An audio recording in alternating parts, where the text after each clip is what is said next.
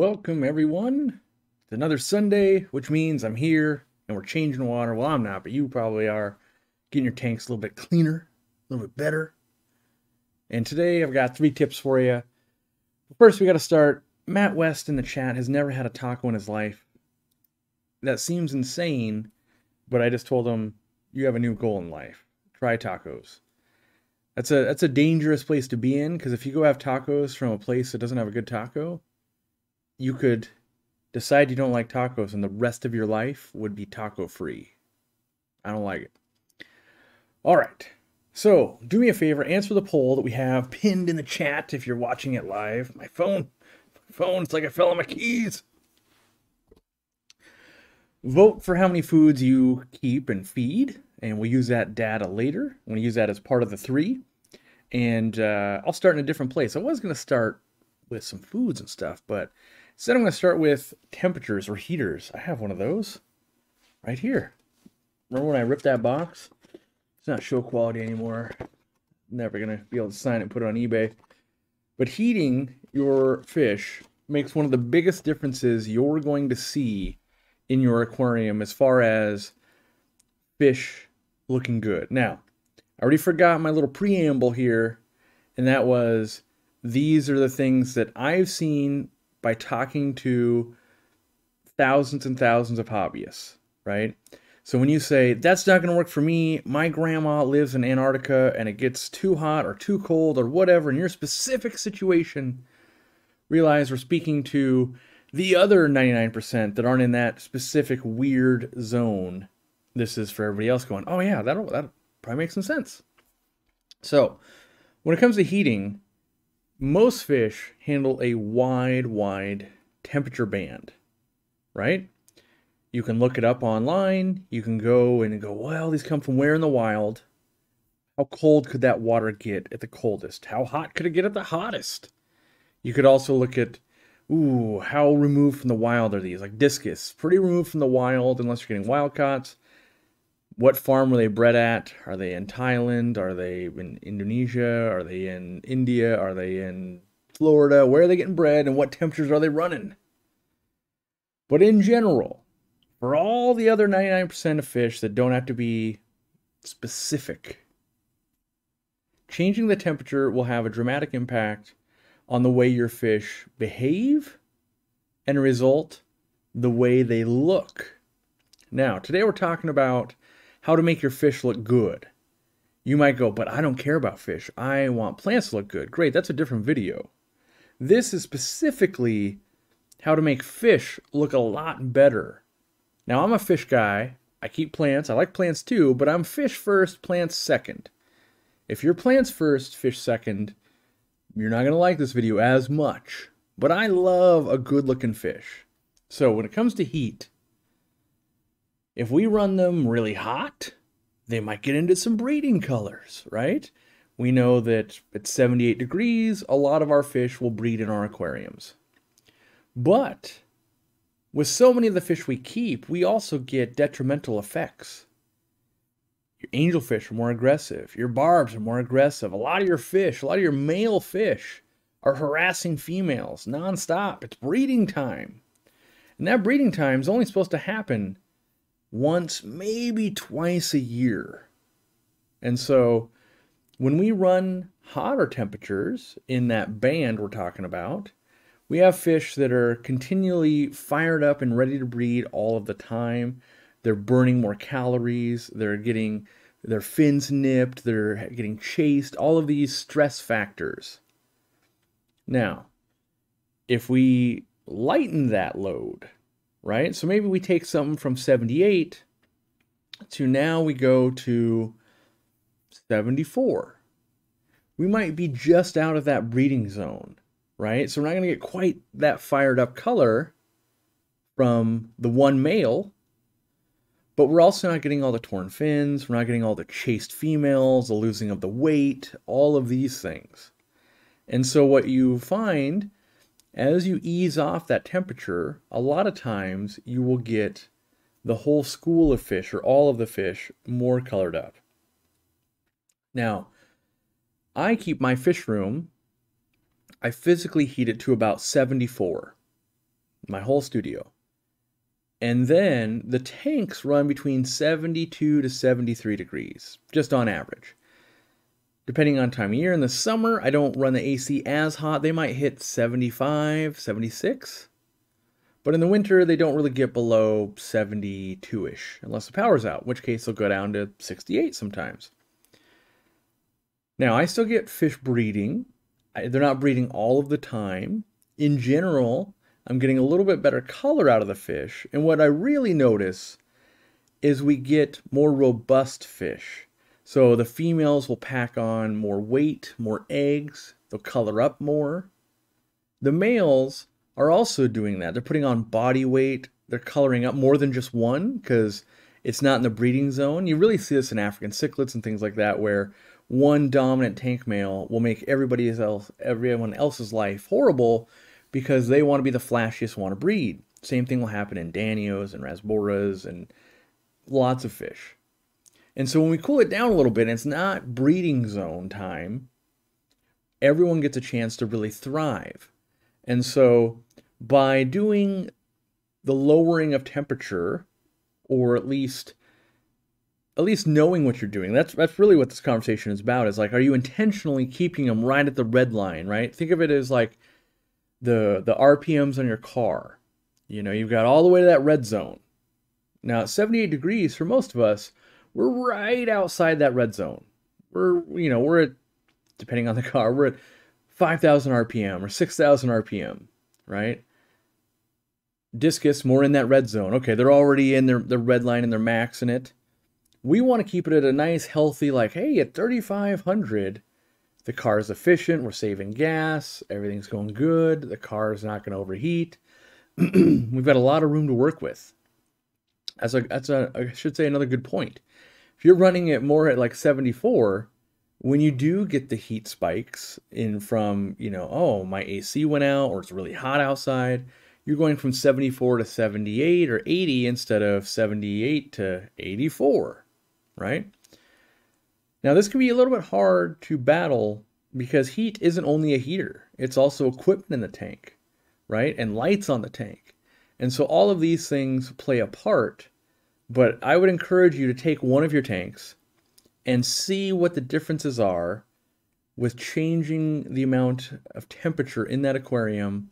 And I, I, I realize, I apologize for everybody using centigrade.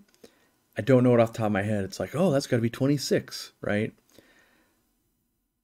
lowering it down and observing it three to four weeks later and see some of the changes. Now, take mental note how active are they right now? Are they breeding? All of these things that we're, we're talking about. And try, you maybe even take a video, film it for 10 minutes, and then come back three or four weeks later. What does that tank look like? Is it behaving any different. There's probably new behaviors, whether you're going to notice them or not. You might not notice them right away. But the temperature, I find one of the most key factors, especially if you want to breed fish or if you have aggressive species, right? And too often we set tanks to 78. We have success, that's fine, but it's not always optimal for every type of fish or every type of fish keeping. And I find when we slow down the metabolisms we slow down the fighting, we slow down the breeding. All of those activities take a lot of energy, a lot of energy to produce eggs or to fertilize eggs or to chase the females or in some fish to hold those babies in their mouths for three weeks and not eat. All of those activities take energy and that energy is diverted from coloring up the fish, growing the fish, developing the fish right? So those are all key things to making your fish look better is just giving them the time to flourish. Now, another key benefit, I think, you actually get a longer lifespan out of your fish. So live bearers, rainbow fish, there's a lot of killies, there's a lot of fish that only live maybe up to three years. And a guppy kept at 80 degrees will produce a lot of babies and it will do it quickly, but it might only last 14 to 18 months. You cool it down, keep it at 70 or 72, you're going to get more like three years on average, right? There's always, I had a guppy that lived 27 years. And then the next one, my guppy died after six minutes. There's always going to be things that are a fluke, but on average, in totality, from a guy that's raised a lot of guppies and sold a lot of guppies, that's my recommendation on something like that. So, heating, very, very important. Uh, most of us that I've talked to, we, we are uh, set it at 78 and forget it. And I think if we're truly trying to optimize, we can't forget about these things. We need to go, okay, well, what is my my decision I've made with these fish? We kind of know a little bit that goldfish like cooler temperatures. We know that discus rams and apistos like hotter temperatures. But I find more and more people don't know that, like, oh, Danios want cooler temperatures, shrimp want cooler temperatures, plants want cooler temperatures.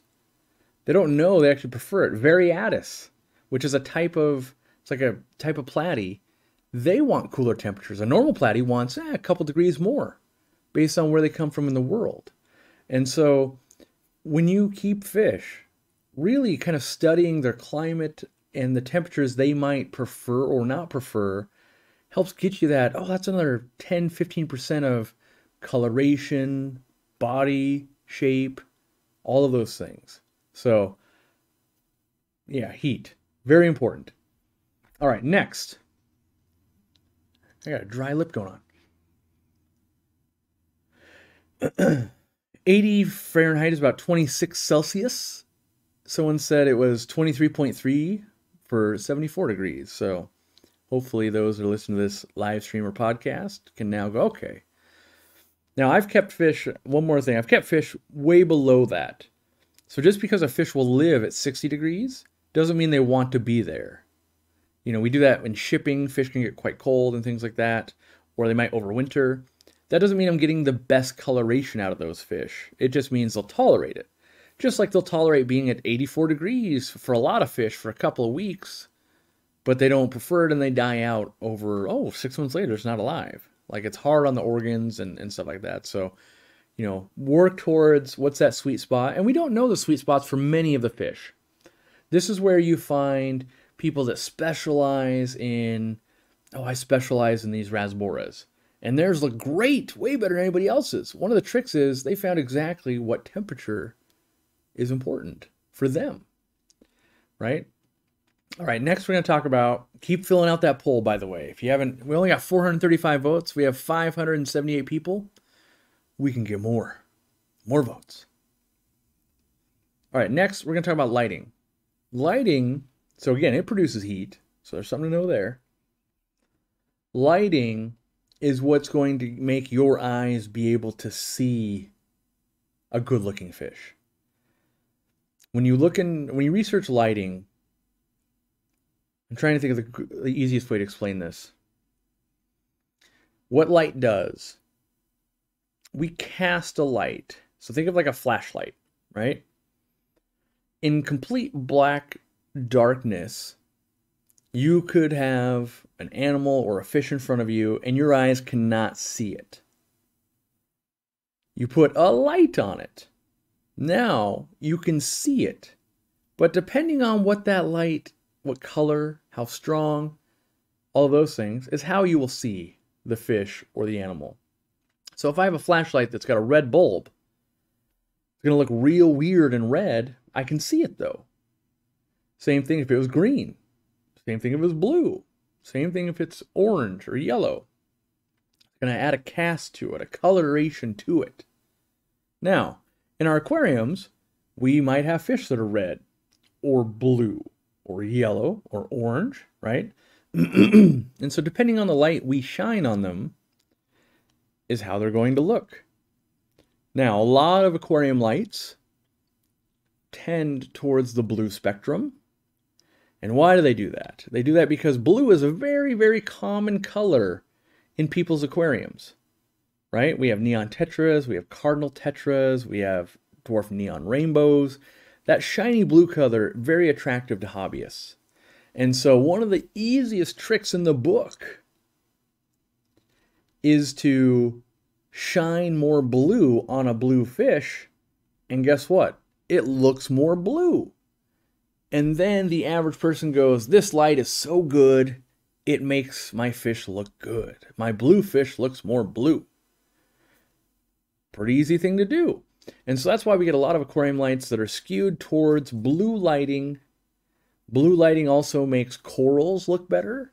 So you've got, you know, if you take the, the hobby of freshwater and, and saltwater, saltwater is pretty dominated in corals, and you're making a light, you want that light to cover as much as you can. Even if it wasn't very bright and kind of was a low end light, the fact that it kind of makes corals look better, that's a bonus.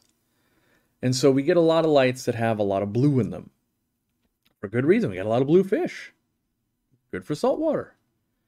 But what about all the other things like red plants, red fish, green plants, green fish, right?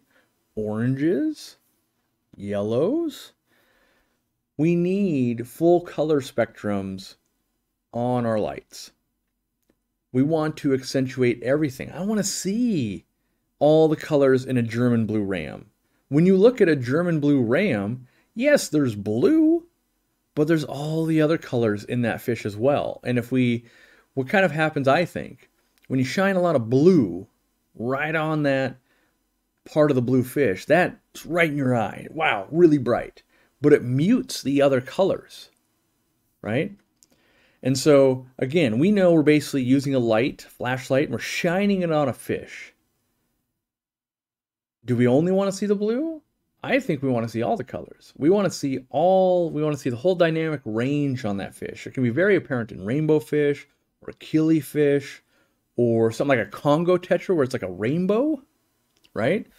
We really want to see all of those colors. And so we want a light that produces lots of color spectrums and not weighted way too heavily in one area or another unless we dramatically want that. You see that in flower horns, you see it in arowanas, like a red Asian arowana. You put red light on it, it looks even more red. Same with flower horns, right?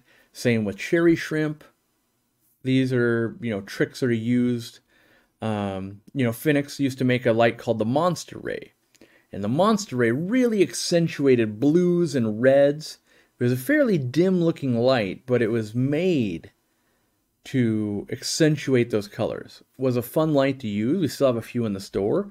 Um, but it didn't make plants look very good. It didn't do anything for greens and lighter color like a gold, like say a gold ram. Didn't look as good. It, it turned that yellow, that nice gold color into orange. And so it it changed the way the fish, it's like using a filter on a camera or something. It, it changed the reality of it.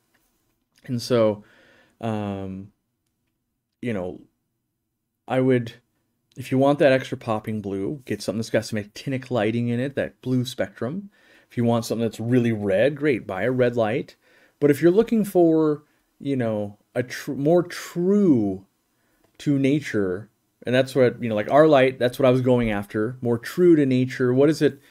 What does it look like when I'm in Peru and I'm watching sunlight come through the trees and hit tannin water, or if I'm in, you know, another wild waterway and there's not the tannins, what does that look like down there? What's the closest to that? I'm trying to replicate nature in my tanks. So that's where I went with my light.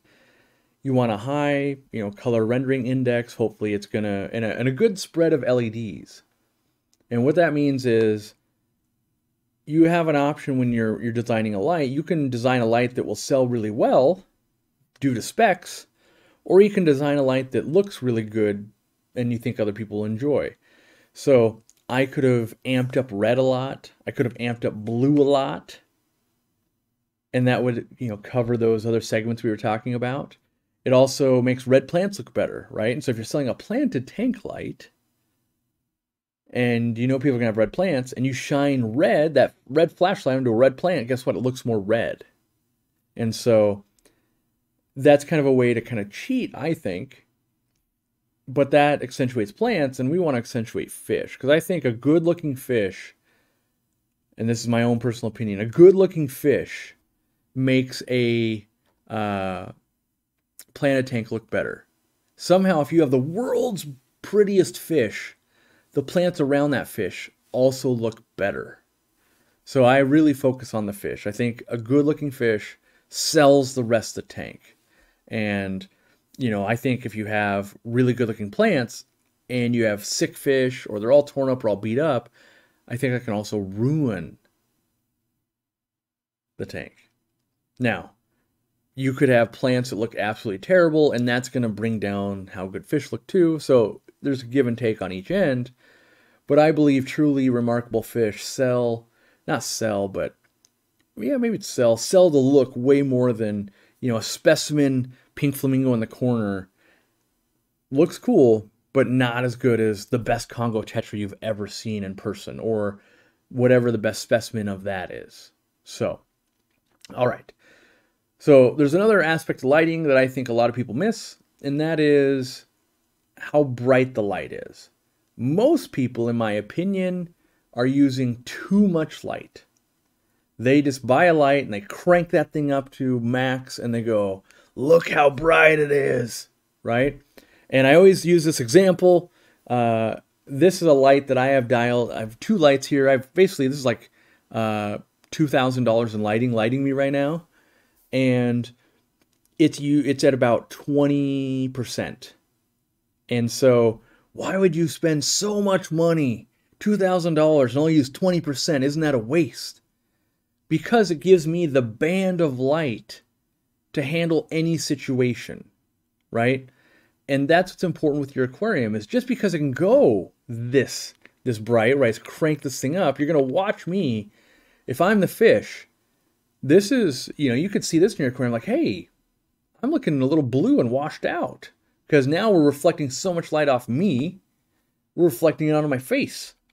And you just keep going up and up and up and up. You see how the whole background now is fading out? We can do this in our aquariums. You put so much light that all of a sudden it's such a strong beam, we're not noticing the custom background you put in we're not noticing the plants behind the light. We're not noticing the fish back there, right? And we just keep going till there's no color left. We've put a, you know, now we're at max. We've put a light so strong on me that we've lost all the color in the room. We've lost the fireplace. We've lost, oh, Cory doesn't have skin tone anymore. It's just bright white. And that's what happens in your aquarium when you put way too much light on a fish you basically overexpose a camera trim. You're just going to overexpose way too much light and you're going to lose all the details. And it's when you come back down to a normal amount of light. And for a lot of us, normal was way too much light. But when you start getting down, you see as I as I brought it down each step, stuff's coming back. You see the bags under my eyes for not sleeping enough. You can see, oh yeah, there's he, he does have a beard right now. And oh, the fireplace starting to come back. And hey, there's a color gradient on the shade, right? That's where you start getting the right amount of light. Now, I need to change my lighting based on how bright is it that day, what camera am I using, all of that kind of stuff. You might have a little bit of that going on in your aquarium, right? You might have a window, or lights on or off. You might, uh, the plants are going to grow, they might shade. But most people are running their lights too hot or too much. You should be turning them down. Now they're they're they're led by fear for plants, not their fish. We're not we're never afraid like is my is my light bright enough for my fish? We don't worry about that. We worry I don't want to lose my plants, so I'm going to give it a lot of light because plants like like light. True. Fish don't like light in a perfect world, most fish want to be very dim. They want to be, you know, I don't sit here when I'm in my office working. I don't sit here with all this light. I actually sit here with usually it's something like this. This is this is what, you know, if I'm a fish, this is my normal kind of habitat is like, eh, something like that maybe. Sometimes even this. During the day it's it's mostly like this, but at night it's more like this. But that's you know what I prefer, but I'm on the show, right? I'm being looked at. My my fish my fish tank owners are looking at me and we want to see this. So, if we know the fish want dimmer light, there's also kind of another little phenomenon that goes on. The more dim it is, the more the fish needs to color up to impress the females. So the fish will actually put on more color to stand out in darker temperatures. Or not temperatures, but well, kind of dark temperatures of light, but darker, dimmer light. When we have very bright light, you may have noticed this in your tanks. You might notice uh, kuhli loaches, ghost knives, um, clown loaches, corydoras, all of these types of bottom dwelling fish stay more reserved and more back. That's because they don't want to be out in the open. Bright light, predators could be dangerous. And so when we lower that light, you might see way different activity out of your fish. Wow, they're so out. A lot of times when you say, "Oh, so my celestial pearl danios never come out," right? It's a lot of times too too bright. So I'm not advocating you just don't run lights. What I'm advocating for is play with your lighting a little bit. Can you get away with, you know, I see it all the time. You've basically got Anubias, cryptocorynes, Java ferns, and a dwarf aquarium lily, and you've got your light cranked up to over 9,000. You could probably turn that thing down to like 50%, and you're going to get better coloration out of your fish. You're going to get better behavior out of your fish You'll also probably grow a little bit less algae. Your plants will grow a little bit slower. That's a true statement. But uh, you're also going to save a little bit of power. And as a bonus, you turn your, your light down, it's going to create less heat in that aquarium. So naturally, you're going to get the byproduct of um, better looking fish. So adjust your lighting with intent. Ask yourself, do I actually need 100%? Could I do 80%? Maybe I'll do 80% for three weeks. What does that look like? Right? And over time, what you're going to find, this is what I find in my fish rooms or my fish store, right? When you have a lot of aquariums, you can try different settings. If you have three 20 gallon tanks, you could try one at 100%, one at 80%, one at 60%. Let that go for a month, and then look and see well, what, what were the effects? When I lost 20%, hmm, nothing different. Okay, I could save 20% energy and 20% light on my fish. At 60%, ooh, yeah, this plant's struggling. I don't know, maybe it's 70%, right? But once you find it, you can run all of your tanks basically at that and, and know that each tank size is different. So 60% on a 75 gallon tank will be different than 60% with the same light on a 55 or a 40 or a 20 all those are different. But for something we spend so much money on, a good quality light, and for it being so important, too often it's just put it max. Instead, I would say play with it a bit and find a level that your fish are really outgoing, they're coloring up a little bit more. That's what those are my metrics, right? You might go the same for plants. I want them to grow faster, I want them to color up more but I'm talking about fish. I like fish. I love fish. I, I would say I love fish. I like plants. I love fish. If I couldn't keep any fish, I would not keep aquariums. Even though I'm good at growing plants, I think they're fascinating. There's not enough for me without fish. So I like fish. I love fish, like plants. All right, the last thing, last tip, tip number three.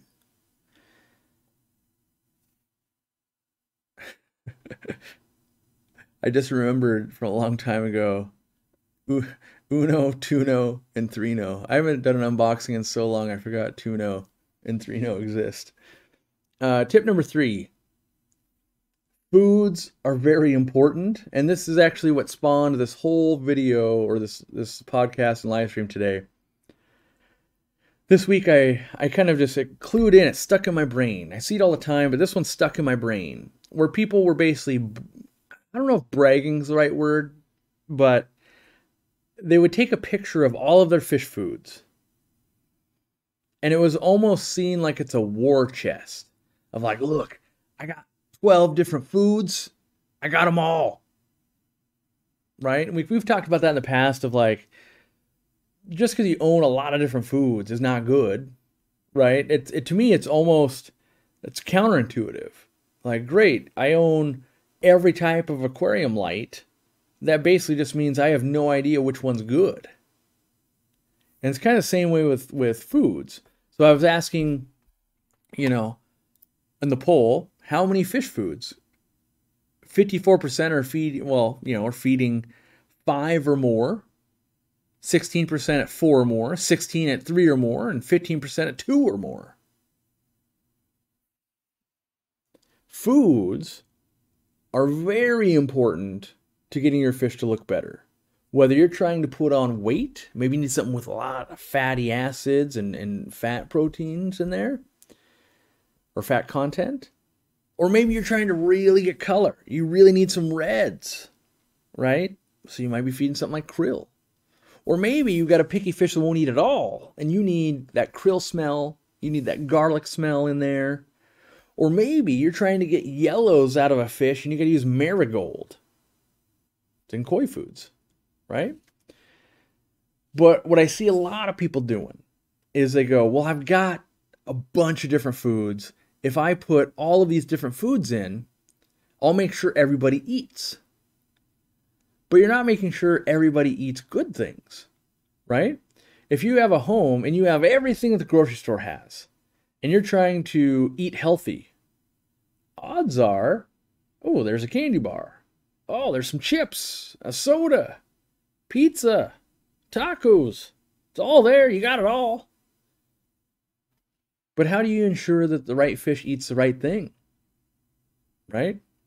So I would I would say where do I want to go with this? Because I know the main theme here. I'll pivot a little bit. I think the one of the biggest problems we have as a hobby, we buy foods, we test them, we go, oh, let me put that in. It ate it. All right, I think it's all right. It ate it, sure. But then maybe we feed another food and we're like, ooh, they like that better. We hang on to this food and we go, well, I better use it up. I don't want to lose my money.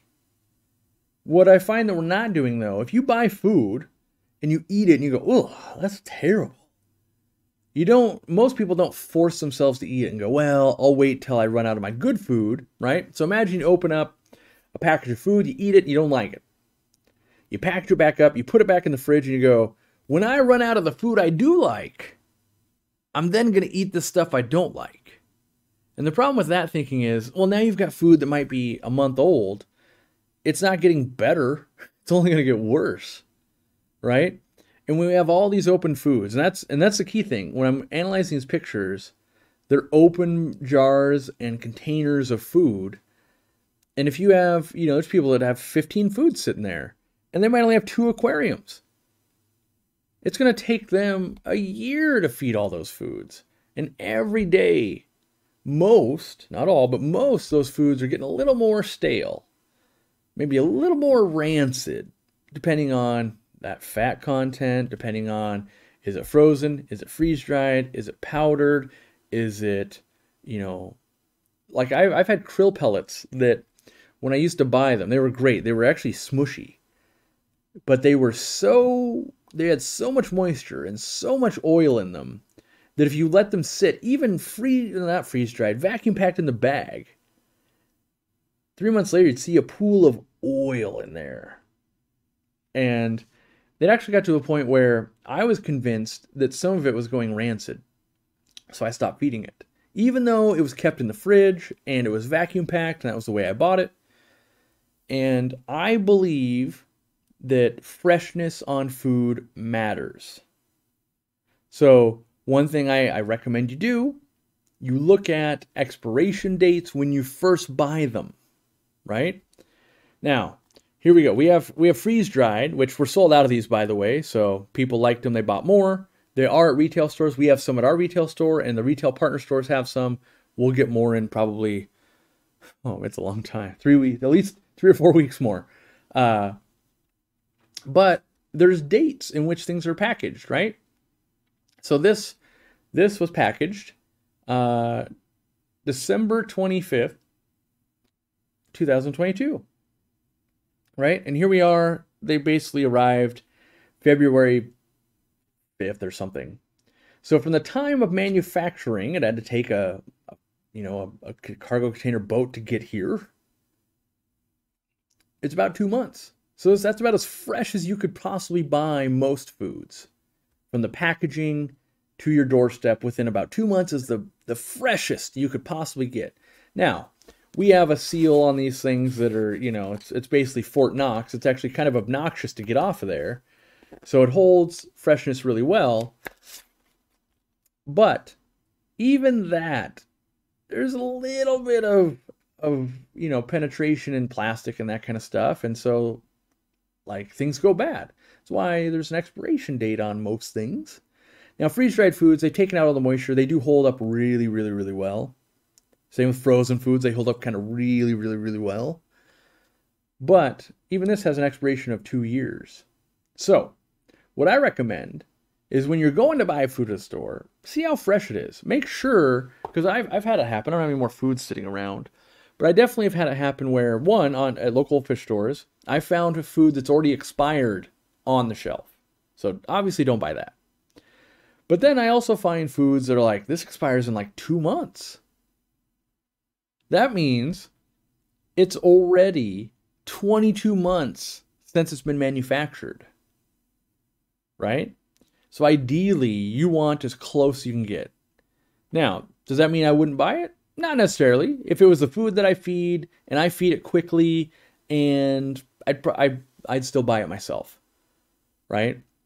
But that doesn't mean that I wouldn't look going. You know, how do I how do I maybe talk to my local store or find a different source and go, hey, how do I get this fresher? I like this food, but I want it even fresher. So like for us with Extreme, for instance, we buy directly from Extreme.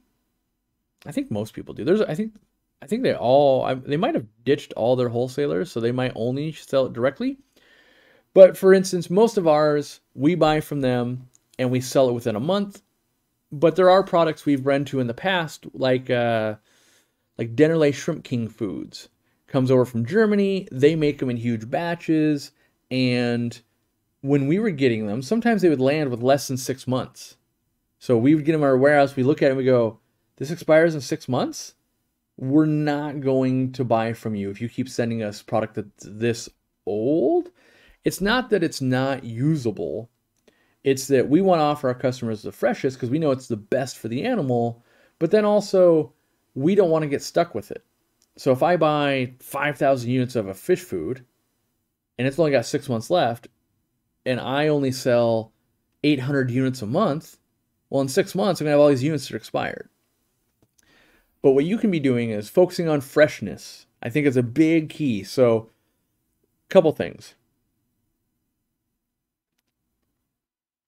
Narrow down the food options. We're going to talk about another aspect of food in a little bit, but narrow down the food options so that you're buying the ones that you need that you can use up within the month for the most part you know, frozen food can go longer, freeze dry can go longer. If you vacuum pack your food, it can go longer. But, you know, we're talking about the outliers here where I meet people all the time. I buy the five pound thing of Tetra Flake, it lasts me years. And I cringe and I go, oh man, okay, there's there's a lot to lot to learn here. Um, but try to use your food up in a timely manner right? Just because you can buy a 55 gallon barrel of, of mayonnaise from Costco doesn't mean you should, right? Yeah, you save a little bit. And most times we're not even saving that much. That's the big difference. Um, well, in my opinion, you're actually saving nothing because, like with our dog food, we can buy like a 50 pound bag that's like, I don't know, like a hundred and some dollars we can buy a, a two pound bag, a four pound bag, and a 14 pound bag. We buy the 14 pound bag and it lasts us like six weeks. We keep it in a, a sealable container, but really we should do even do a little bit better job, honestly. Even though we save probably 10 or 15 bucks by buying the much bigger package, that bigger package that's I think it's 25 pounds or something.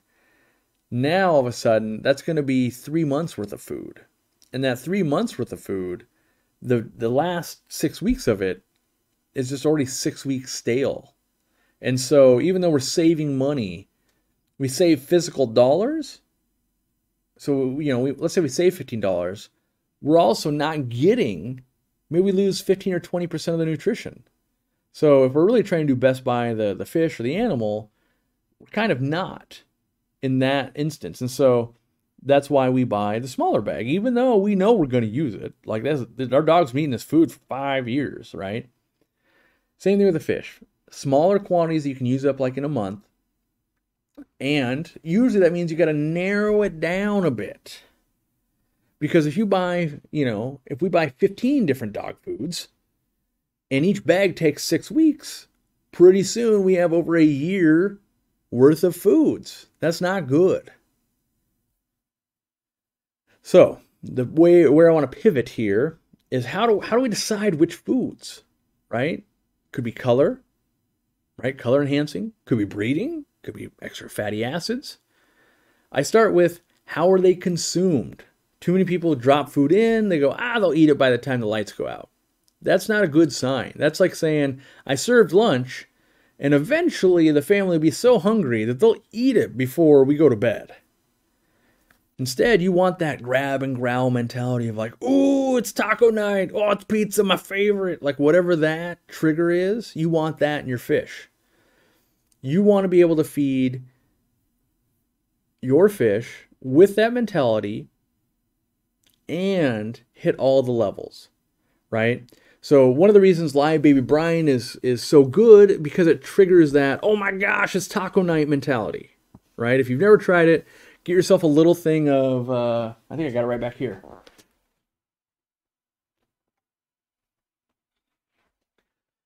Get yourself like the six dollar baby brine shrimp or eggs. You can hatch it out and I mean you can hatch it out in this water bottle technically. Get a little bit of salt, you could do it. No problem. Try this and get that feeding frenzy because part of it is learning what, you know, how good can a fish look? How much can they love food? If you've only ever eaten raw potatoes and you know, you're now you're 26 years old and you've only ever eaten raw potatoes and somehow you're still alive, you don't get excited about food. You don't know that pizza and tacos exist and things like that. So when someone says, I got the best food, and you're just like, yeah, food. It's uh, raw potatoes. Food sucks. That's part of my life I don't like. Once you see how excited fish can get for food, you've now got something to measure against and go, hey, this food also gets them pretty riled up. That's why extreme krill flake, Hikari Vibra bites, frozen foods, these freeze dried foods, like with the freeze dried, you guys, like me, love the fact you get to see your fish up close and you can see if they're sick, you can see if they have torn fins, you get to all that. That's that's a mode of feeding. And I think those are very important when it comes to uh, foods. So if I throw this on the top, right, this is brine shrimp and the tubifex worms. If I throw these on the top, they do really good, really good at feeding my hatchet fish right at the top, right? Great. However, this is going to be a good example, I think. Okay, so if I throw it on top, those hatchets love to feed from the top, no problem. Now, if I also have Celestial Pearl Danios in the tank, and I just throw it on top, they will literally not get a single bite. They're not going up to the top. They don't want to eat from the top. They eat mid-water. So I take this food and I stick it to the glass mid-water. Now they go nuts. We've got videos of it. They love it. But they won't go to the top, right? What about the bottom dwellers? Now they some we have you know corydoras will come up, but you want a food that they will eat. Live baby brine. Plecos and stuff will eat it, but it tends to get gobbled up by the other fish. So we tend to use wafers and, and sinking pellets and, and other stuff, maybe frozen foods that get to the bottom. The trick here is make sure that the food is eaten with gusto it's of a decent quality, which most fish foods on the market are. In my opinion, I, hey, I'm now a fish food seller and manufacturer type person now, so now maybe it carries a little more weight. There's not that big of a difference. Like, if you can't get our freeze dried and you buy a different freeze dried, it's not that different, right? We're talking about Pizza Hut versus Domino's versus your corner shop. It's all pizza. Slight differences, really price points, toppings, deep dish, thin crust, that kind of stuff. But really, at the end of the day, it's some cheese, some sauce, and some bread. You can screw it up, you could burn it, but you know, assuming it's not burnt and all that, they're pretty equal. Most fish foods are that way. We've gotten so good that if you walk into a fish food manufacturer facility, they don't even make bad foods because everybody else already wants a pretty decent food. You kind of go, well, we'd have to actually go source the crappy ingredients you want. That would actually cost you more than using what we use every day. So it really becomes mode of feeding. Do the fish that you have like the way you're feeding it? You know, take take uh, you know those hatchet fish. If I only put in algae wafers into a tank, even though the first ingredient, fish meal, right? Might have shrimp, might have all the goodness in it. They'll never eat it. They don't eat from the bottom, right? So, narrow down to the foods you actually need. How do my fish eat? What is it they need?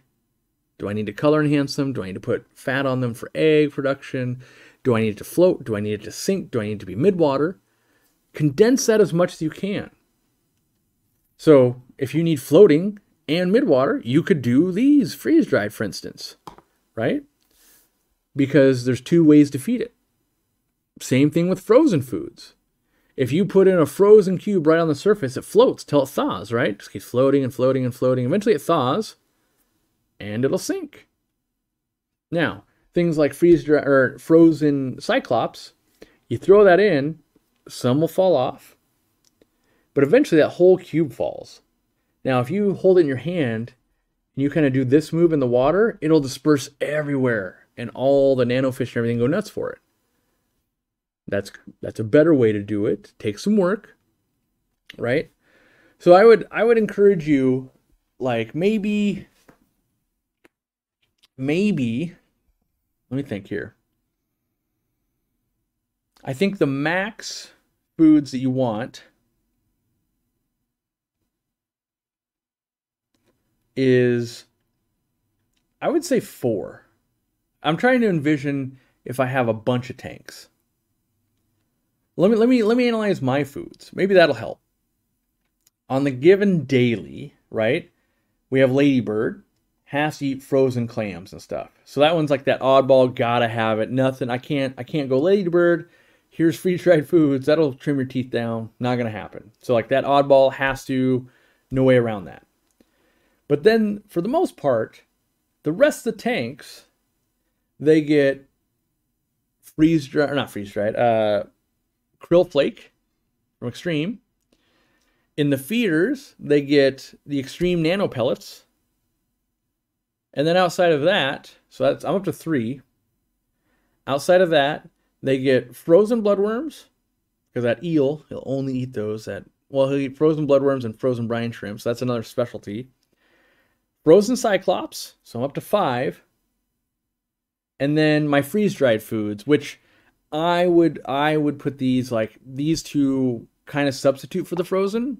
Like I'm definitely lowering the amount of frozen I feed now that I have freeze dried also. So I'm at five, maybe you could clock it at seven for 25 fish tanks.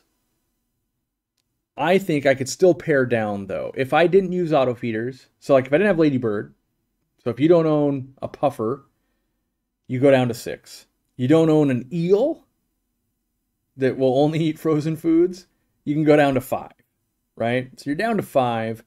And I think I honestly could narrow it down from there to about three, personally. But that being said, I, with 25 tanks, I'm feeding so much that most of these, like a, a container of this food, lasts like two to three feedings for me in 25 tanks. That's 75 tanks of food worth, right? So I'm going through stuff so fast, it's not as much of a problem However, I do know, like I've gotten big uh, 10 pound bags of flake food before, and it gets too stale and and not good by the time I'm done with it. So when I got more of it, I asked for it to be in smaller bags. Help me out there. Um, and I also put them in containers that are resealable that are quite easy. But I try to, I should do a video on it, but I take some food that lasts me a week, maybe two. I put that into a container and I feed out of that. Then the main container of food is sealed up still, So it so the main container of food gets opened up once every couple weeks. The feeding container gets opened every day, right? And so I'm doing things to manage the food quality. And by doing that, which we've spent a lot of time on foods, by doing that, we're making sure we get enough vitamins to the fish. We're you know, we're making sure they eat correctly, they get enough. We've slowed down the metabolism so that food goes even farther because we lowered the temperature, right? We've lowered the light so they can be confident to come out and eat. And in three weeks, you're going to notice, like, wow, my fish, they got a little more pep in their step, looking a little better, got a little bit less algae, right? And my final plea is if you have foods that, like, I always feel bad because I'm spending other people's money, but if you have foods that have been open for i'm going to put i'm going to go a little bit long on this one. I i, I can i hold myself to a, a higher standard here. Turn down it's getting hot here.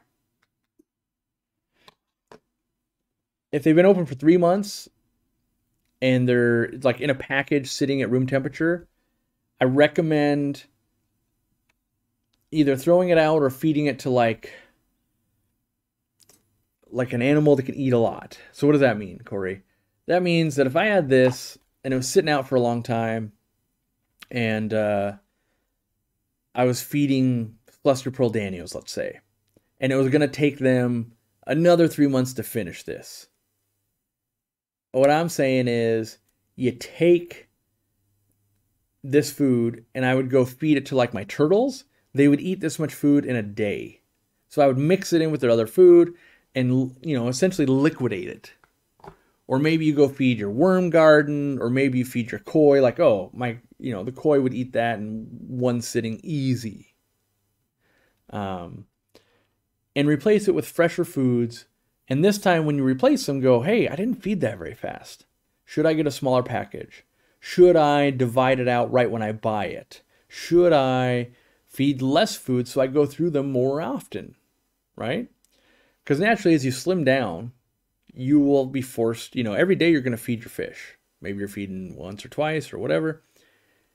And if you've got 15 foods and you're feeding twice a day, right? That's only, you're still going to have one food every week that didn't even get fed. Whereas if you have three foods, and you're feeding twice a day, they're getting those foods you've identified to be the best. Maybe they're best nutrient wise. Maybe they like them the most. Maybe they color up the most. Maybe they're economical for you. They're getting that every single day now, and that's where you're going to get that uh, that expected growth, the coloration, all of those things.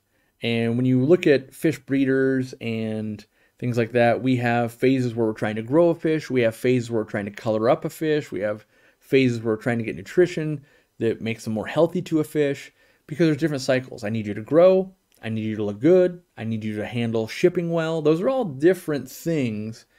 And we can tweak foods a little bit. And if you're watching your fish enough, you might go, "Ooh, you guys are getting fat. Let me uh, let me back off some of the higher fatty foods and bring in something with some more uh, some more fiber, right? Maybe you're having bloat a lot of times. You know, a lot of times when you're seeing bloat and things like that, it's it can be rancid food or expired food, things like that. It Could also be the wrong food for the fish, or you know they're eating the wrong food. If you're, you know, if you have African cichlids and you have some predators and you have algae eaters and they're cross eating each other's food, you know that that's more of a mix of a fish. But you could find foods that'll satisfy both, and that's where you see things like Hikari Excel come into play. But those those three factors, how hot they are, how you're lighting them, and how and what you're feeding them those three factors in the next three weeks, if you spent, you know, today working on it, going, okay, let me slim down the foods. What are my freshest ones? What do they like the most? And maybe you got to order some and get that coming in in a couple of days. You mess with the lighting and you go, hey, I'm going to bump it down just two degrees. Let that ride. See how they look in three weeks. You can do it again. You can go, okay, well, let me, I'm going to go down another degree you know what? After I reduce the foods, turns out they actually, you know, don't like this one as much. I'm gonna eliminate that one. And the lighting, I'm turned down a little bit. Three weeks later, oof, lighting, that needs to go back up. That wasn't a good decision. Heat's where it should be. Food seems dialed in. See where you go. You're to see better fish in your aquariums from that. And, you know, you're to get all the other benefits. The, the things of like less cleaning, because you're putting in higher quality food. They won't eat as much because the temperature is a little bit cooler, right? And you'll have less algae because there is less light. Now, the fourth bonus tip that I'll throw in once you go through those three weeks and you get stuff looking better, I want you to see if you can test the water each week and see if you couldn't go three weeks without changing water.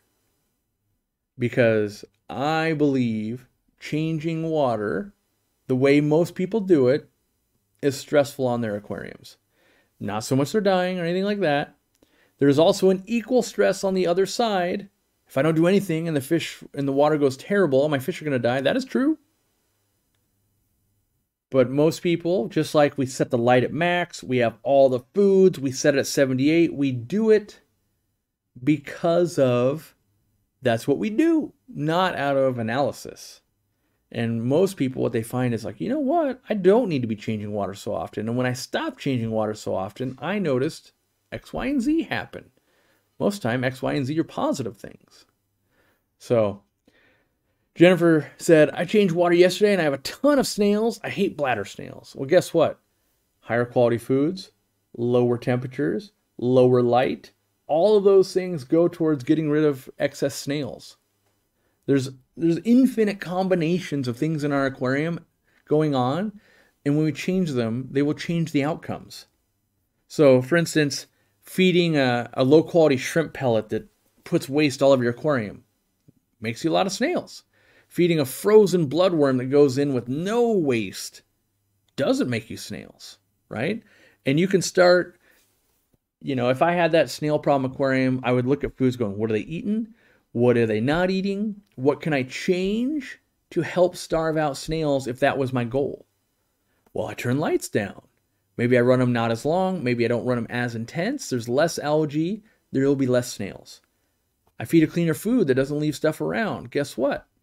There will be less snails. I'm changing less water, maybe. Not as much calcium's coming back in. Snail shells are having a harder time. I'll have less snails. You might have the opposite problem. Oh, my snail shells are all pitted and they're, they're doing horrible. Guess what? More foods with calcium. If your tap water has a lot of calcium, maybe more water changes. Maybe you got a low pH. Maybe you need to add crushed coral. There's a million things we can tweak in our aquariums. But I know majority of us like a good looking fish. And those are three tips that will make your fish look good. They do affect other things. And I think you guys will see some positive results when you look at it from a standpoint of how do I optimize my one ecosystem because so many of us, I've got 25 ecosystems. I'm not going to tell you at all that I like if I only owned one aquarium and it was Ladybird, that aquarium would be amazing. The fact that I divide my attention over 25 aquariums, that's where each one is always worse off for it. So, if you get back to not thinking about how what am I going to change in my fish room or all of my tanks, and get back to you, how am I going to fix this one tank with these fish, you'll do a lot better you get a lot better results. Slow and steady is going to win that race. So, all right. Let me close the poll. Is that something I can do? Is that, oh, end the poll. That's what I do. Woo! There's the results 50% feeding 5 plus I'll be interested to see. I would I would put money that if we did that again in a year, it'll be the exact same poll, just because uh, people will come and go, and uh, social media, advertising, everything. We all want to sell a million foods, so. You may have noticed we've been streamlining our website. There's a few less plants, there's a few less foods because I do think it's part of my job to continually um, be your personal shopper, help you make good decisions. And so if I see that people aren't buying stuff and or another product we have is selling better that does the same job, the more things I can remove from the decision tree, the easier the decisions become. So, um, there's always other outlets. So you're always free to buy from other people because there's going to be, I only feed this food and you got rid of it. I get it if that was dialed in for you, but we might go, well, we sold 30,000 packages of food this month. And there's literally some foods where like, oh, we sold four. Four. Like that takes up room in a warehouse. And the the thing that I want to make sure, I don't want it so if you order these from us, you're like, wow, they're super fresh.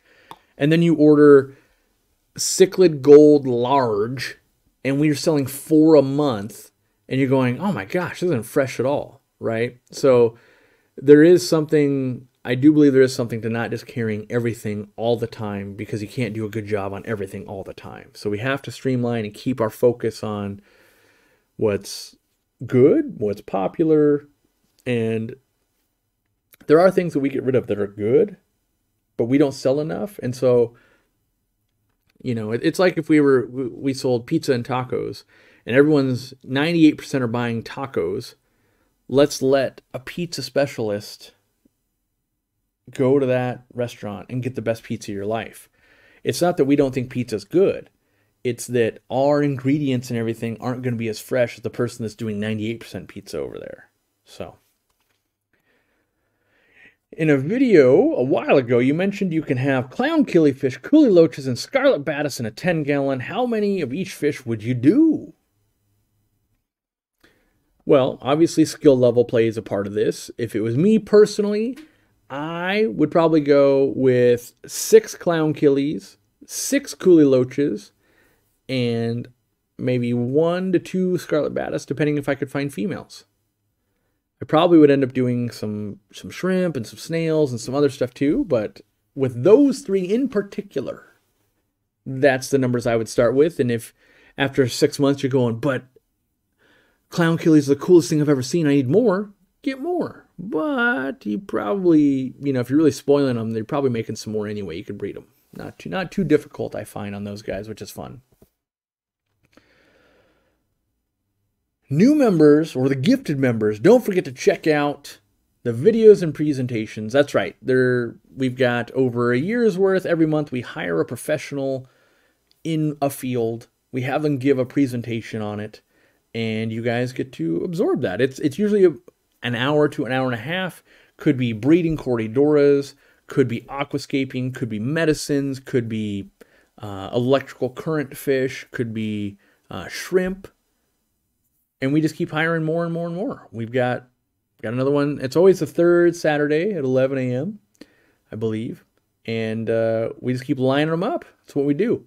Eventually, it's going to be this giant, giant catalog that and you can watch them all, right? So for five bucks, you can watch all the ones previous and the one this month. So even if you've never been a member before, for five bucks, you can get all that. You can save 5% on your orders through aquariumcoop.com or our retail partner stores that offer that discount. And so sometimes you know you're going to buy something like a light. If you sign up for a month, you get to watch all that stuff and you save 5%. You actually save more money than you'll spend. It's kind of a no brainer. Uh, let's see. Would it work to build a Matten filter as a column in the center of a hex tank? You definitely could do that. Um, yeah, there's no real reason why you couldn't do it. You might run into like, oh, it's kind of hard to maintenance or something like that, but everything is doable. You'll probably get some plant roots growing into it, which would be fine if you like that look. Um, yeah, doable report back with, "Oh, you know, this is the problem I didn't like," or "Oh, I really did like this," and uh, we'll all learn from you. Is there a good way to get the freeze-dried cubes to sink fast? Uh, no, not really.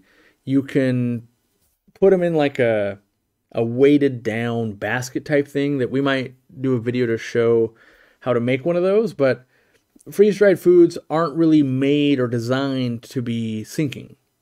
And so we can take a food and make it, we can always make something do what we should, what it shouldn't do, but we run into resistance. Like, ah, oh, it's more work. Where it might be like, why not get the frozen version of that? Or make Repashy food or feed a sinking food. Doable though. Everything with enough, with enough uh, effort, doable. Love from Israel, Cory. I definitely want to go back to Israel. There's uh, I want to visit Ran. He's still got nine more fish farms I haven't visited. I want to visit the one where he breeds Amano shrimp, and uh, he's got he, the robots that were feeding the fish there were mind blowing. He's got I don't know. It's the most advanced farm I've seen. I've been to a decent amount of farms, not all of them obviously, but it was like light years ahead of other farms. And so I want to go see the nine other farms they had there. It was very impressive to see some of the things they'd come up with and were doing, and the animals were, were great to look at. So, uh, yeah, just gotta gotta get it planned. That's what I gotta do. Do pink flamingo crypts require more light than the straight Tropica line? I'm not sure they, they actually require more light, but that being said, the way I do it, I'm growing plants, and then I put a crypt Tropica or a, a crypt uh, pink flamingo in, and then it's growing. I haven't ever tested like, well, how low could they both go? But any tank I've personally run, if other crypts are doing well, my pink flamingos did well also. That being said, know that pink flamingo is a cultured variant of Cryptocoryne tropica. So it's the same plant, but been isolated to be more pink someone who's way more of a plant nerd would know, but I think it probably just takes the same light, but genetically it's been very or been chosen to have that, right? So in my mind, my peon brain, just my logical fish room brain, I go, yeah, well, a long fin, you know, does a long fin rosy barb need to eat more food than a normal rosy barb? Like, no, not really. It's just kind of the it's the same fish with a, a different trait to it. So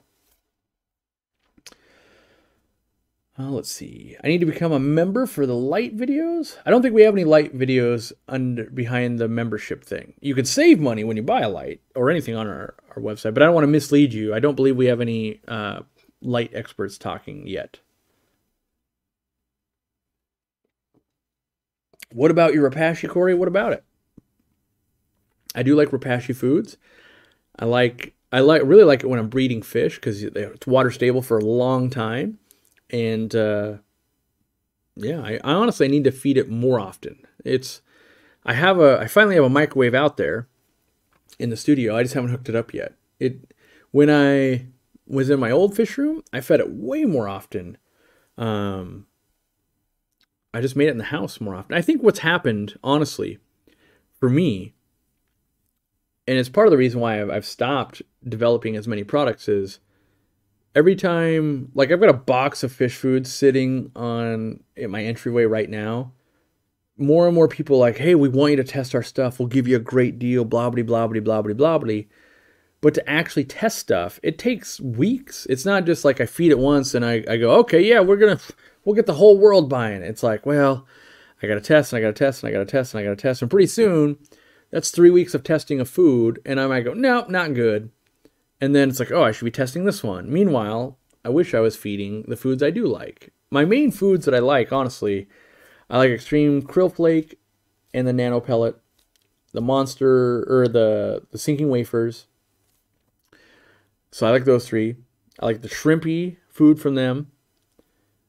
Um, frozen foods. I like Repashy, but I don't feed it enough. I like Vibra but I don't feed it enough. I just I forget every time I'm at my own warehouse to get more. And then freeze dried foods I'm digging quite a bit. And then that might be most. But I know there's probably one or two other things in there where I'm like, yeah, let me let me feed a little bit of this. But I I think I'm I'm lucky I've got a lot of tanks so I can go through stuff pretty quick. And uh where like I'll be maybe that'll be a good thing. I'm setting up the aquarium in our living room or dining room, I guess. And there's going to be very few foods for that because it's, you know, out in the studio, I have a dedicated fridge and freezer to fish foods plus all those tanks. Where in here, there's not going to be a dedicated anything. It's going to be like, well, that's going to live in the normal freezer. So I don't have, like right now, in my freezer, I know I have uh, brine shrimp, mysis shrimp, cyclops, bloodworms, normal brine shrimp, clams, shrimp, mm, that might be all the frozen food. That's just frozen. So it's it's you know, sometimes I need stuff for videos, sometimes I just got to test. Not that I really need to test frozen foods, but uh, it just depends. Sometimes, oh, I've got Daphnia. Like my wife brought Daphnia home. Like, oh, I'm not really feeding frozen Daphnia, but still there. Fluval bug bites have been a good addition to the mix. Fluval bug bites are decent. Again, I think all foods are pretty much decent. The only thing I don't like about Fluval bug bites is a tripping, and uh, they short us every time. So I go, hey, I need 900 of those. And I go, cool, we got 62 of them. We'll try to get you more before you run out. So we, it's a frustrating thing um, to run into a lot. No Banana says, I use the Keurig to get hot water for Repashy. I like that. When I bought this house, I was all stoked because we have a instant hot water thing. And I was like, this, I'm going to make Repashy all the time. And like cup of noodles. Turns out I don't do any of that. We use it to fill water before we boil. I'll make some broth. My wife will use it for some tea. But maybe I should get one of those installed in the fish room. If I had instant hot water, I might do it way more often. That's I like that. Like maybe I don't I don't need the Keurig though. For a while I was thinking the instant uh like kettles or whatever. I used to use that too, but I just need to I just need to get set up for it. That's the thing. I gotta get set up. What eats bladder snails and ram's horns? Uh, most loaches, most um, puffers, and most turtles, and assassin snails. Yes. So look into those and figure out what makes sense that you'd want to keep. Or if you got a friend that has them, give them to them. Trap them. I love, I love it when we get big old groups of snails because, well, Ladybird's not really going nuts after them lately, but um, turtles do. Turtle Town. I got a dwarf aquarium lily bulb about a year ago. Never sprouted, but it's still solid and not soft to the touch. Should I keep waiting or is it a lost cause?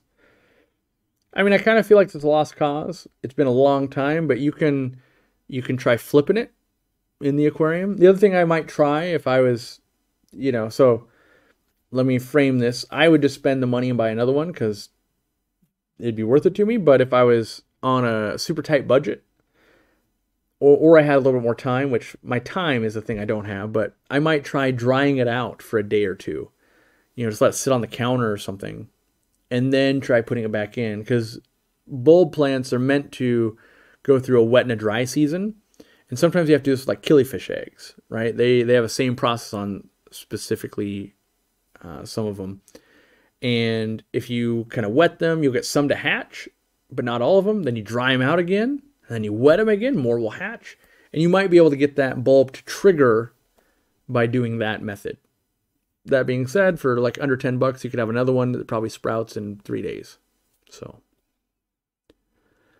does the temperature advice you give to the beginning of the stream apply to German blue rams? Uh, it does in a different way. Like I wouldn't keep them at 72, but you might do some experiments on are you keeping them at 86, 84, 82? Are they wild caught? Are they bred by this breeder?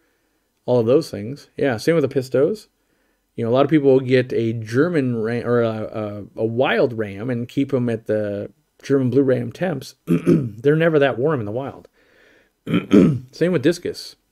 I like keeping wild discus. I keep them at 76 and they thrive. Whereas a discus out of Malaysia, anything under like 86 and it's falling apart on you. And I don't like keeping discus at 90 because you, they run so hot, you got to feed them so much and change so much water, and nothing else wants to live with it, that it's not a fun time for me. Will ram's horn snails mess with cherry shrimp? Not really. They'll both cohabitate and breed. They might stockpile on the food, but then they poop it out and shrimp eat it. So I don't find them to be too detrimental. But some people might say, hey, I, I only make, you know, like in my tanks, I might be in a year, maybe it's like I make a thousand cherry shrimp, and if I had a buttload of ram's horn snails, I might only make 900 cherry shrimp. And the reality is, 900 is still a lot. So I, I don't. And whether I'm feeding turtles and puffers or I'm selling them it's all it's all gravy. You know, make sure you're breeding pink ram's horn or the leopard spotted ones, and now you're selling them to your local store, and they're selling them, and you could only unload 500 cherry shrimp a year anyway, and so missing 100 is not that bad, and you're unloading shrimp, so it's actually better for you. That's right, I don't drink or like coffee. I've tried it. I tried it on Fluval's dime when we went to Germany and they had a booth and they had uh, like all you can drink and eat thing in their booth, the trade show. I was like, let me try a latte. That one sucks. Let me try it with more milk, more milk. And it eventually got to the point where it was like, pour me a glass of milk and then drop two two drops of coffee in it. And I was like, yeah, that's not coffee, but I, that's drinkable. I wish, because um, everyone geeks out when we go to Peru and there's like fresh coffee beans and and all that kind of stuff. And it, I love the smell of coffee, cannot stand the taste. Hate that. I wish I could because it seems like a almost like a new hobby I could have. Are there any online retailers who ship frozen foods? And would I? We've looked into it. I don't think it makes sense for us. I think uh, Bulk Reef Supply might ship frozen foods, but I think it's like a hundred dollar minimum or something like that. Not quite sure. the The logistics of it, it's kind of a pain because to ship frozen foods, you want to use dry ice, which turns it into a hazardous material, which has to ship a completely different way than everything else.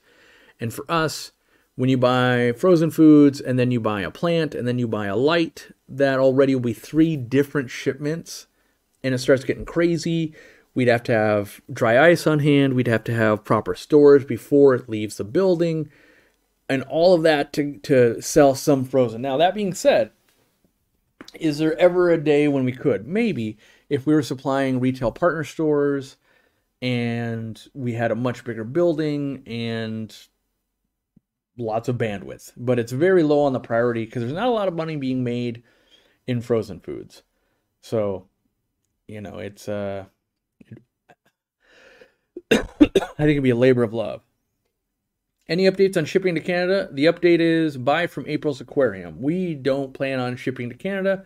We have a partner in Canada that is shipping throughout Canada. So April's Aquarium sells our products in Canada. You can order them up today and they ship from Canada to your door. I think it's free shipping above 65 or something like that.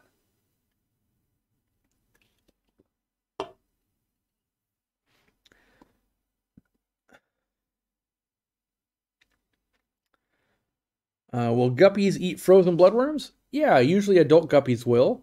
Um, when it comes to fry and things like that, I like using Cyclops because it's smaller, Daphnia, um, Baby Brine, any of those.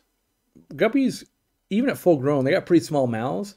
And so while they'll choke down, you know, that giant burrito of a bloodworm, uh, smaller bites aren't a bad thing. So it, it, it would, I, I feed bloodworms if they're like maybe once every few weeks to, a, you know, just the adult breeders. But for the most part, it's always smaller stuff. Or if it was at a community tank where you had lots of stuff around, if they want to go snag a giant burrito, that's fine. But I also make sure I feed smaller things because I don't want it to only be that. What are some good fake plants for those of us that can't have live plants with our fish? I honestly don't think I have a fake plant that I consider to be good. I know the ones that are the best that I that I use when I have to, and those are I think the Marineland Bam fake bamboo, like three foot long ones. But they're terrible. They're chintzy. They're bad. They're overpriced so I don't have like I, I, guess I don't have like this would be what aquarium co-op would do if they were doing fake plants. I'm sure there'll be people that that uh, you know raise their hand and be like, I like this silk plant or I like this or I like that. I'm not saying that they wouldn't be usable, but I haven't seen anybody put the time and the effort like I would to design the perfect aquarium plant that's fake. I think it's like I could I could basically I wouldn't because I don't call people, but we could send an email or call them up and go, hey, I'll take the full line of plants. And they'd be here in three months. They'd be like, look, we have 72 different plants, just like every other company. But they would all be kind of the standard plasticky with a weighted base that basically suck, that get stuck in the gills of fish, get caught in the mouth, all of those kind of things. or it'd be the the silk and the metal version and and I think that I think there is space for someone to really spend a couple years and design the best possible aquarium plants and I just don't think anyone's done it yet. The, I will say the best plant that I think I have is the ones I got. They're made in Europe uh, from that cichlid place, cichlid uh, store I went to but I think 10 of them was literally 250 euros. So they're 25 euros each and they're in the, the tank right now, but they're they're plastic and they flow and they look very close to Vallisneria. The algae starting to grow on them, so they look fairly natural. That being said, that's one type of plant. There you would need an assortment to really do a good job, and I think that price point is crazy talk. But being that I have a very expensive turtle and I wanted some extra cover, that was the solution I found because I could not find. I didn't. I didn't want the chintzier ones, and I didn't want to lose my turtle to eating plastic. So.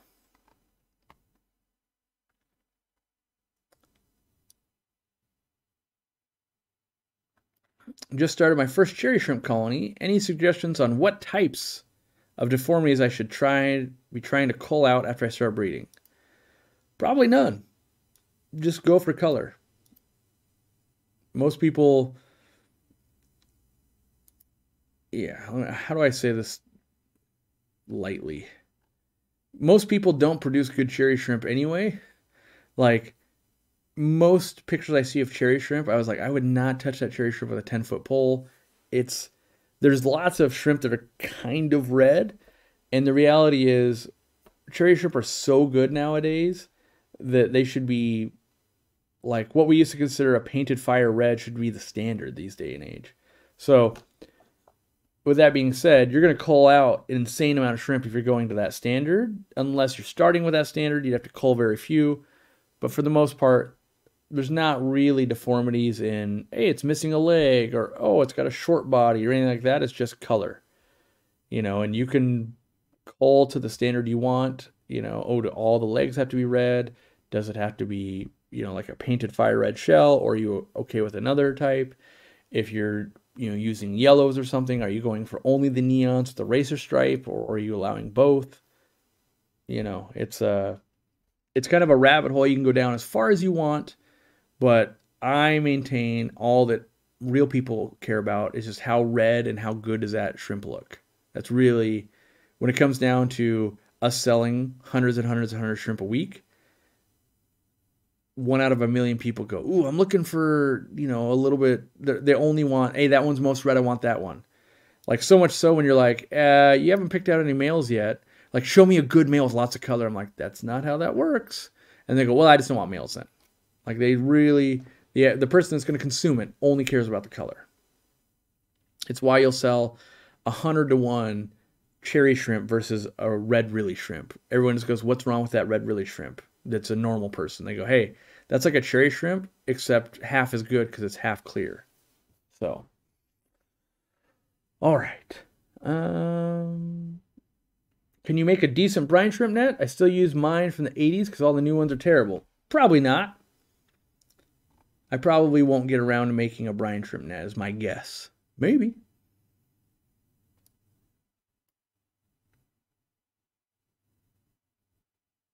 I have a Tidal 55. Do you think I should put something over the skimmer and the other intake holes? I have a pre-filter on the intake, but the skimmer all of a sudden is giving me anxiety. Yeah, I mean, I personally, if I remember right, that's one of the things I really didn't like that top surface skimmer. What I might do is not what you should do, but what I might do if I so I'm a guy that typically if something's irritating me, I just go buy the solution and be like, "Oh, I'd buy an AquaClear filter." But you might be the person that goes, "No, I don't do that." And if I couldn't go buy an AquaClear filter, what I might do, I'm not telling you to do this, but what I might do, I might take that intake out and fill up all of those slots with super glue gel so it couldn't even bring water in. I would basically make it a solid tube. Then it would work like an AquaClear that I wish I would have bought the first time. And that's essentially what happened. I mean, I ran with the Tidal filters, I ran, I think we ran 40 of them testing.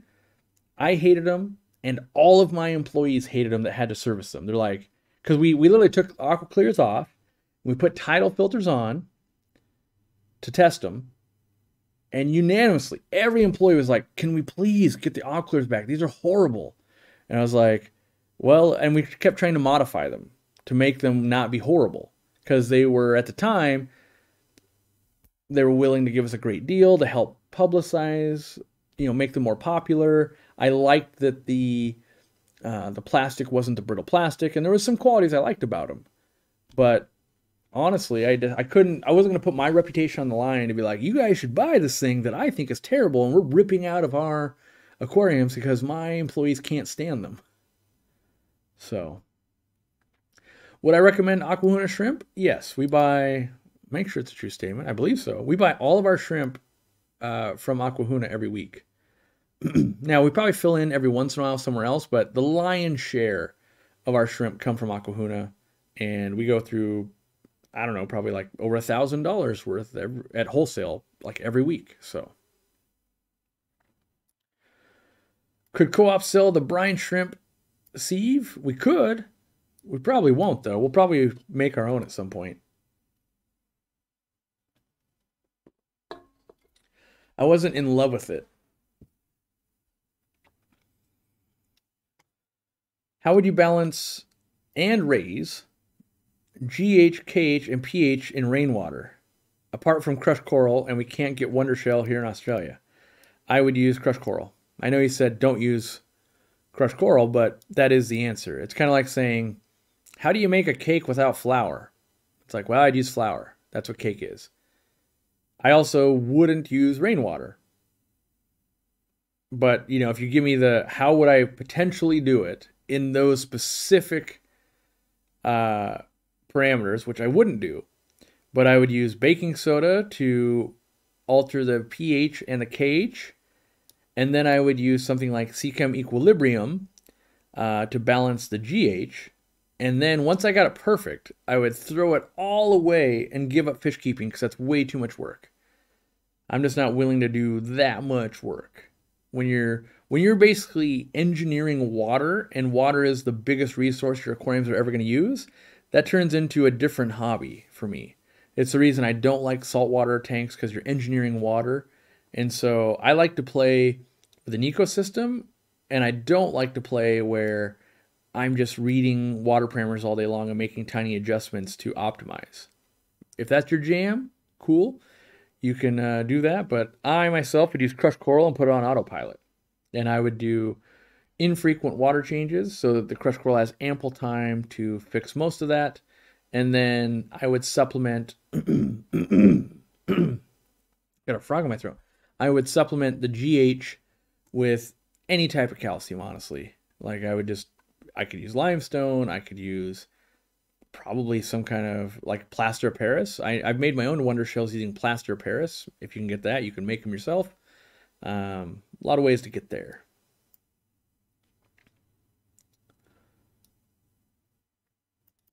Can I explain what was terrible about the Tidals? No, we we've only got uh, 30 minutes left, and it's like a 17 hour seminar I put on on how to not make a hang on back. There's definitely some other podcasts and live streams where I've gone into detail. I'd have to have one in my hands to fully give you the experience of the raging that I do. But in general, it's a disappointment in that sometimes it's more expensive than a, an AquaClear. It's at least very close in price. And they had so many opportunities to make a great filter. And they had some good ideas, but they missed the mark on so many of them and, you know, one was even discussed today like no one needed the surface skimmer. And if you did, you need to make it optional. And it wasn't optional optional. So it just makes no sense when you're in a world of every day nano tanks and everything become bigger and better. There's more shrimp, there's more nano fish, more people breeding fish, all of that to put in a death trap that's going to suck all that up and kill it with no way around it out the gate. Make it an add-on make it you know.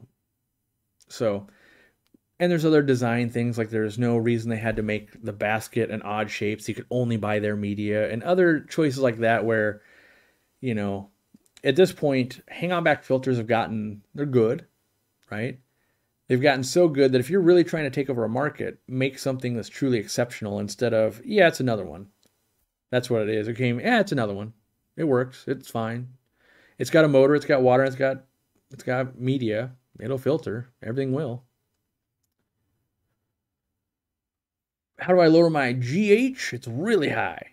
Uh, I would probably run a planted tank and not change the water very often. It will consume the minerals out with the plants, and you'll run at a, a more moderate GH. That being said, do you even need to lower your GH? Mostly high GH, kind of okay. I find I've got high, super high GH in my water, and I don't have any problems. Some fish, you know, if I was going to breed giant crebensis that want to be in pH of five and uh, no hardness, you're going to struggle. But everything in my pet store, essentially, you'd walk in and be like, yeah, high GH doesn't care. Never understood how I can hatch out brine shrimp on a daily schedule to feed fry without doing what Dean does using two blenders. How would you do it with one? Uh, I mostly do it with two, but you increase the temperature, that'll reach a haster or haster faster hatch rate. And what happens is like even at my best, I'm getting them to hatch at like maybe 20, somewhere between like 23 and 26 hours. And so you have this sliding scale, or not scale, but sliding hatch time where you start getting them to hatch out at noon right? So let's say I, make the batch at noon. Tomorrow it hatches at noon. Oh, great. I set it. So then I gotta, I gotta drain it. I gotta set it up, and now it's it's twelve fifteen, and now it's got to go. Oh, it's a little bit cooler, whatever. They didn't hatch quite as fast, so it's one fifteen. I harvest them. I gotta set it back up. It's now one twenty two. Now I hatch them again, and it hatches in 24 hours. Okay, it's 122. And then I got to clean it. Oh, now it's 135, right? Because I got a little bit distracted or whatever. Or, oh, I had a dentist appointment. I couldn't harvest them until 4 p.m. today. And so now your new time is 4 p.m. So it's kind of always a moving target. And so maybe what you get is, unless you have very, very new fry, like, oh my gosh, they're going to die without a meal today, you end up hatching live brine five to six times out of the week going, ah, I gotta, you know, I got, I'll set it up tonight. Like in my mind, what I would do sometimes is, okay, I had a dentist appointment or whatever. I get back, I harvest it, I set it up. It's 6 p.m. And I go, okay, well, I could harvest again at 6 p.m. tomorrow night. Oh, that's not great. I'll just let it go till the following morning at 9 a.m. Right? And so I hatch it out, or I, I harvest it at 9 a.m. And then I go, do I really? Yeah, I'll set it back up. And then I'll go, okay, tomorrow I'll get back, I'll hatch it, or I'll, I'll harvest at noon again. I'll get back to close to that noon time because maybe that's the time. Like during lunch is when I want to feed those fish the live baby brine every day. Where where Dean does it, he actually feeds brine twice a day, morning and at night, and runs two hatchers to make sure he never misses because he doesn't want to miss, you know, discus fry and that kind of stuff. But that being said, he's been traveling a lot, so he doesn't even doing that a lot anymore. But I think really what's going on is when people say they hatch brine every day, most are, but it's six ish times a week unless you really get a really controlled environment going with no deviation. But we have real lives like, oh, it's Saturday and it's your kid's birthday, or, you know, it's, oh, I got to go out to dinner tonight. Like, there's always going to be real life stuff. And so I think when you're hatching brine out a lot, you're kind of maxing out at like six ish times a week. You can get runs though, where you go for three months straight, but there's always going to be real life. I took your advice. oh, let's hope it's good. And went with a Senegal bichir with my 12 longfin rosy barbs. The 40 breeder is heavily planted. Are there any foreseeable issues? Um, not really. Like the Senegal bichir shouldn't get. I mean, outside of you went and got a Senegal bichir and it was full grown already, and then you bought like half inch rosy barbs and he was going to eat them. But assuming moderate size, like, oh, I got a Senegal bichir at like the four inches, which are normally sold, and I got rosy barbs at inch and a half to two inches, like they're normally sold, probably not. You just feed them and enjoy them. Is it bad to not rinse your baby brine shrimp before you feed it? I maintain that it's fine. Dean would say, Corey, you're a fool. I rinse it every time. Uh, that being said, I think the marine salt is beneficial to my plants and stuff, and Dean doesn't really run plants. So, two different ways of fish keeping, but a lot of times we end up breeding similar fish or the same fish, and uh, you know, I I don't think it's detrimental the way I keep fish, but you can you can uh you know someone asked earlier in the pre-chat like how long would it take with the brine shrimp going into a tank to build up and I I honestly think it would be like 3 or more years. Like so little salt is going in and that's if you don't have plants. Plants are going to be consuming most of the minerals. So then you just have salt. And if you've never made salt water before, like marine salt water, I think you'd be shocked at how much actual salt goes into like a five gallon bucket of, of salt water. It's like, isn't it two and a half cups or something like that? It's a lot. So to get that much actual salt into an aquarium from feeding baby brine, you'd have to go a really, really long time without ever changing water. And I think most people change enough water that they're never going to run. I've never run into this issue. I'm not saying you couldn't, because I'm sure someone out there's going, no, my grandma did. She never changed water and she reached it in 14 months, you fool. Like, all right. I don't think most of us are going 14 months. If you run a Walstad tank and you're literally never ever changing water, even though she, I believe, recommends once a year at least, I just, uh, you know, I don't think we're practically going to run into it. Is there a reliable way to raise brine shrimp to adulthood? Yes. If you go to the forum, you can see where I raise brine shrimp in ponds outside. Very easy to do. Um, I, there's even a couple videos that it's all in a like a forum post though. But yes, you basically create a saltwater pond. Not too difficult to do. You you get a pond outside. You fill it with salt water, and uh, you put some eggs in there, and then brine shrimp, when they're adults, they actually give birth to other live brine shrimp. So they just keep making more brine shrimp for you when they're happy. When they're not happy, they lay eggs going, oh, we're going to die. Let's lay eggs so that when we find better conditions, we'll hatch out and live to see another day. So that is a thing. It's it's not a, you know, it's not a like a huge brine shrimp factory. It's enough to feed like if you have I had a 100 gallon pond, I could feed like one tank a pretty good healthy feeding of live brine shrimp every single day. But it wasn't enough to be like, I'm gonna feed the whole fish room. I'd need like, I don't know, a thousand gallon or two thousand gallon pond to do that.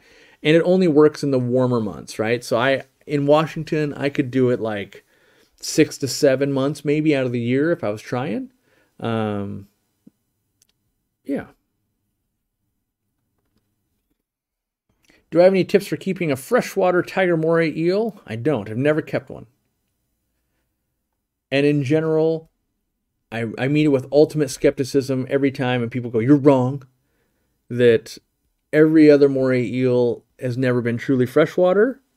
This one might be the exception. I'll wait until I research more and actually see that that is the case. Because so many times over the last 20 years, like, no, this is the this is this is the one. And they'll just keep saying that and saying that and saying that. And eventually I'll start keeping them and I go, yeah, but they, they do way better with brackish water, like every time. And so maybe this is the one. That would be cool. But, uh, you know, the industry has a horrible track record of, no, this moray eel, this is the one. And time and time again, store owners find, like, nope, you're eight, they're crashing because they actually do want a lot of minerals and salt in the water. So, so yeah, I don't have any other than general tips for feeding a predator fish like that, which is, you know, do a good job, stimulate them, keep them healthy, what we do for all fish. Mm, let's see. Glassworms was sold because local fish store was out of black worms, found out they are not worms, and now feel like my guy at the local fish store isn't as knowledgeable as I thought. How quick do I have to use them? Uh, we don't really have glassworms much in the U.S., but uh, I know they like to be cooler when they're kept in the fridges, at least in Europe.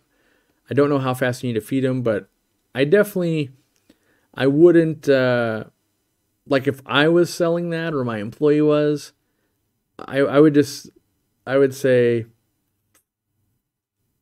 they did a fine job. Too often customers are very pushy, I find, of like, you don't have black worms, when are you gonna my fish are gonna die without black worms? Like especially axolotl owners. Like the world comes to an end. It's like you shouldn't have made them dependable on that. And then we go, like, here, these uh, glass worms will be good enough to get you through a pinch. And then the customer, like, they're not actually, they're a different type of annelid. And it's like, okay, sure. Like, for the most part, stoners are to focus on what they're interested in. And like, I have never been interested in a glassworm. So I, I would have never researched them and like they're actually a type of larva known as a glassworm. Yeah, what are they a larva for though? Mm, for midges, so midge flies. That being said, I just feel like yeah, they're fish food. They're like mosquito larvae, and so I don't know what the incubation time is going to be. I would suspect that's why they keep them in uh, like a fridge type scenario so that they don't their metabolism doesn't mature them to the flies or whatever they're going to become. I don't know if the next step is like land larvae or if they just, you know, I don't know. But for the most part, food, live foods like that at a fish store are kind of, at least in America, you just feed them the day of. Not very many people are trying to keep them multiple days. Blackworms a little bit, you you rinse them and you can a little bit, but in America, we have so much chlorine and chloramine or chloramine in the water that most of the worms die. So, um, but yeah, I would love to actually do lots more glass glassworms. I think maybe contact uh, Twin City Guppies. Didn't they just get glass glassworms? I'd have to look on their Facebook. Let me see. Hmm. I feel like I just saw a post where they got some. So they might be able to help you with. Oh, I, I messed up. I typed in King Lee, the owner of it, instead of uh, Twin City Guppies. Let's see, did they just get glassworms?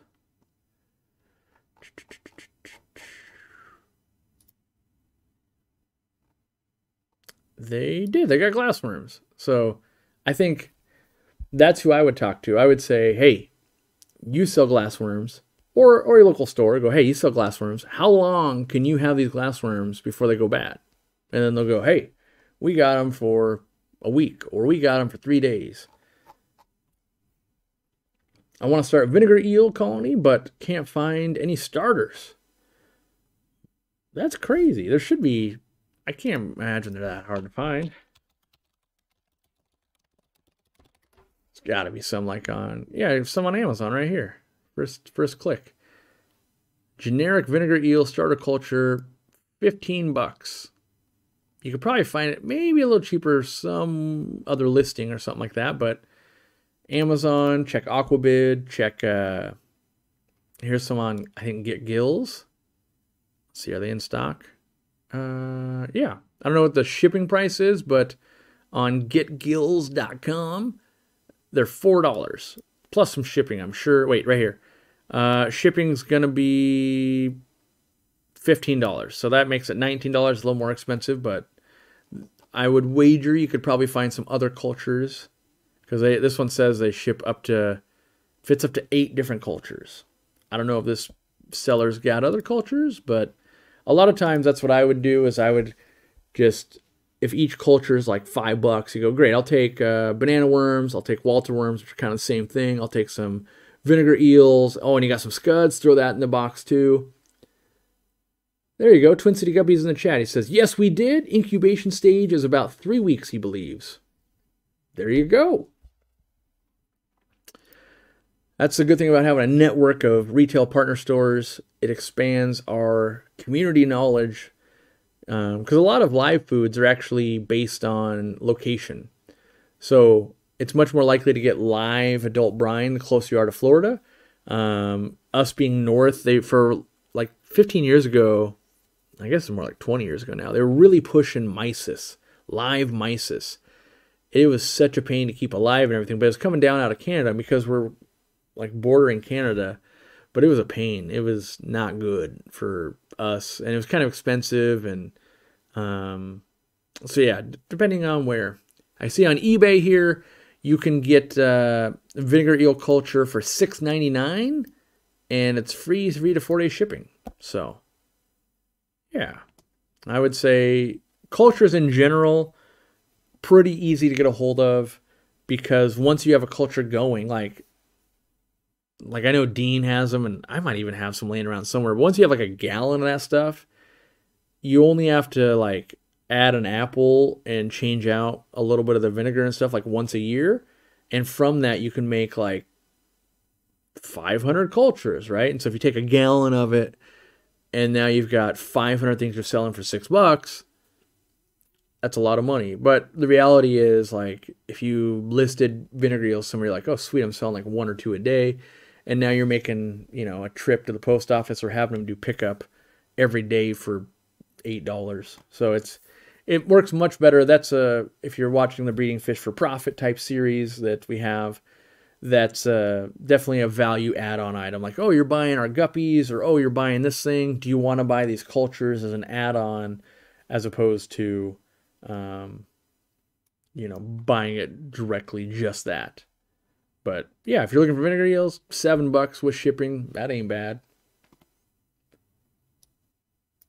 I've crashed my microworms so many times. Should try the vinegar eels. Yeah, we used to sell lots of cultures in the store, but you just we would have a lot of them go bad. And what I mean by that is like with microworms and, and that kind of stuff, when you first introduce it, you're like, we're selling tons. And then eventually, like 50% of all the people that buy them keep them going for a long time. And so now you get people, the other 50% people, they like, they get lazy, like, ah, it's two weeks, I didn't swap out the media, they kind of smelled really bad and died. And then you go, do I want to buy that again? Like, yeah, maybe one more time.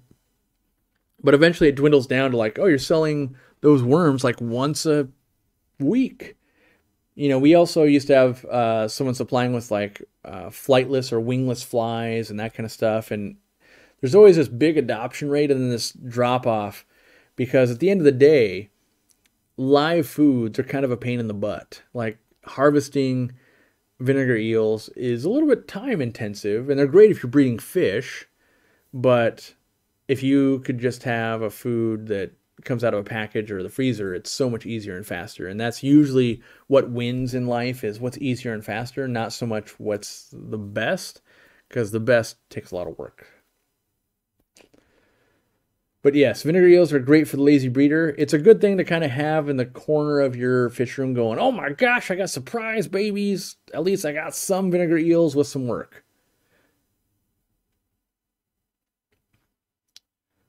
Um,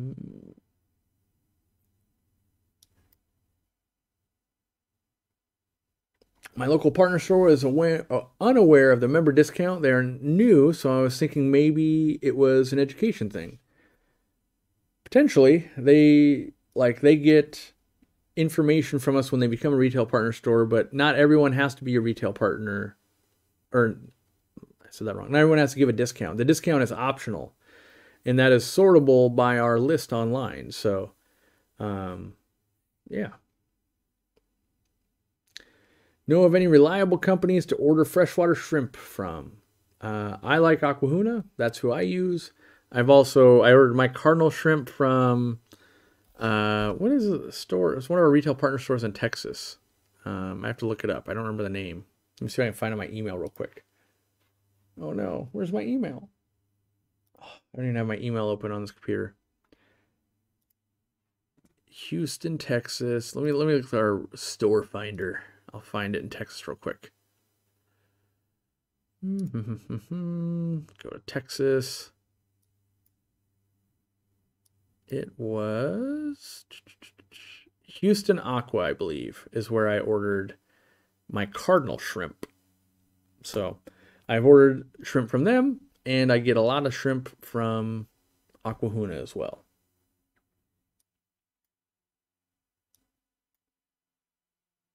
Hmm.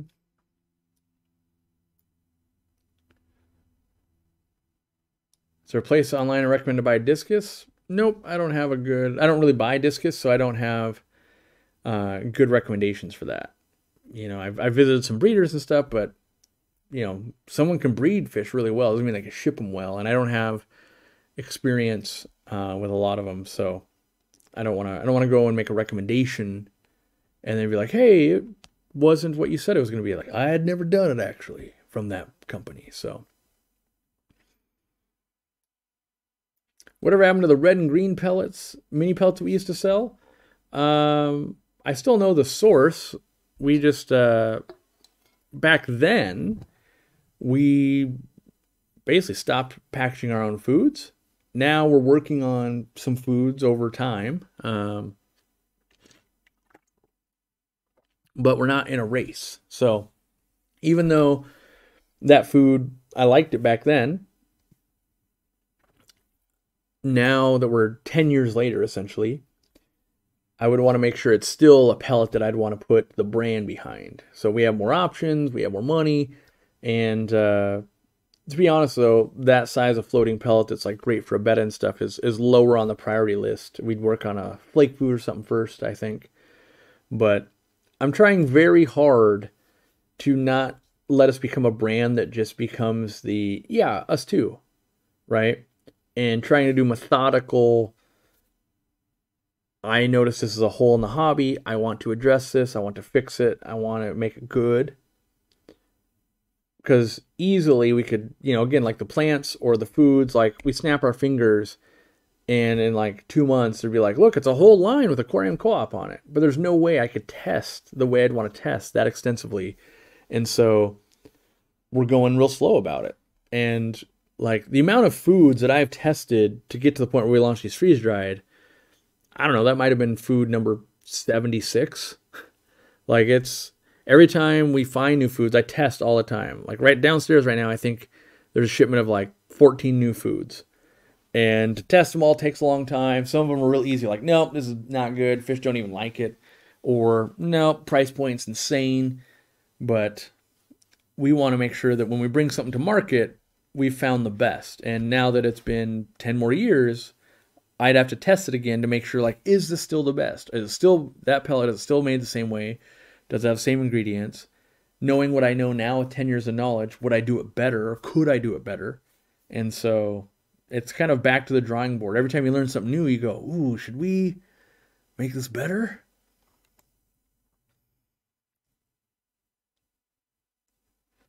Where is Dean gone? I haven't seen him on the co-op video for ages.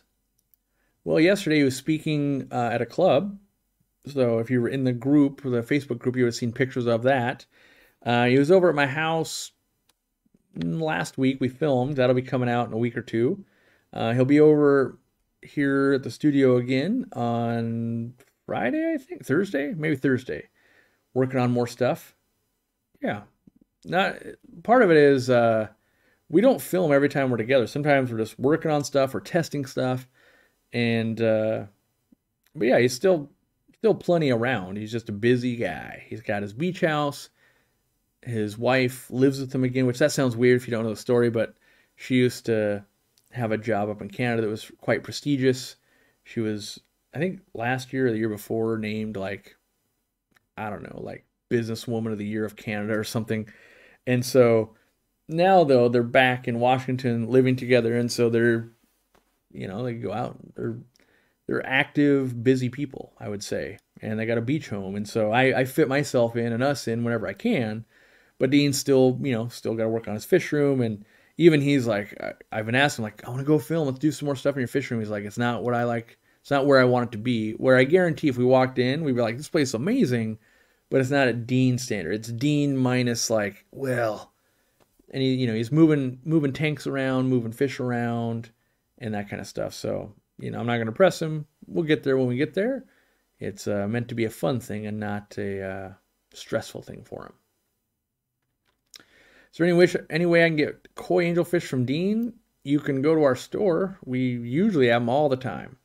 But as far as physically buying from Dean, Dean doesn't sell to other people. He'll trade. You have to have something he wants. And everyone goes, What do you want?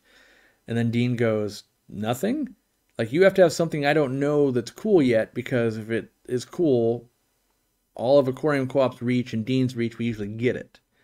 So you got to be like, check this out. You've never seen this, but it's a like lime green rainbow fish that you should breed, Dean. And he goes, oh wow, that's super cool. What do you want? I'll trade. Um, but short of that, you know, he he doesn't really do it because he doesn't have time. So.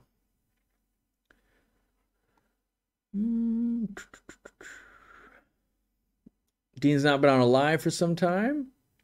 Yeah, I mean, we go live on Sundays, right? Dean's probably out to brunch with his wife and family. like, just because his family is like more in town all the time now, Dean does normal life stuff. So, short of uh, changing the time and all of that, yeah.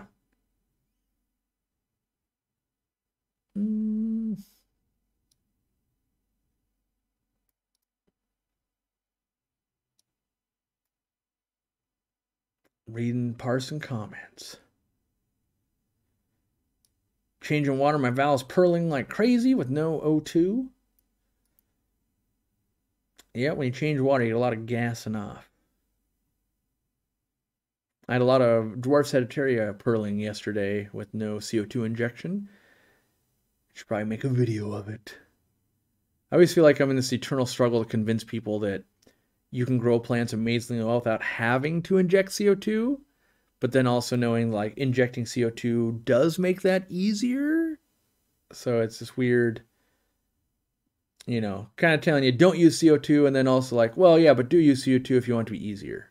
Like, eh, maybe it's kind of like, uh, you know, maybe it's something weird like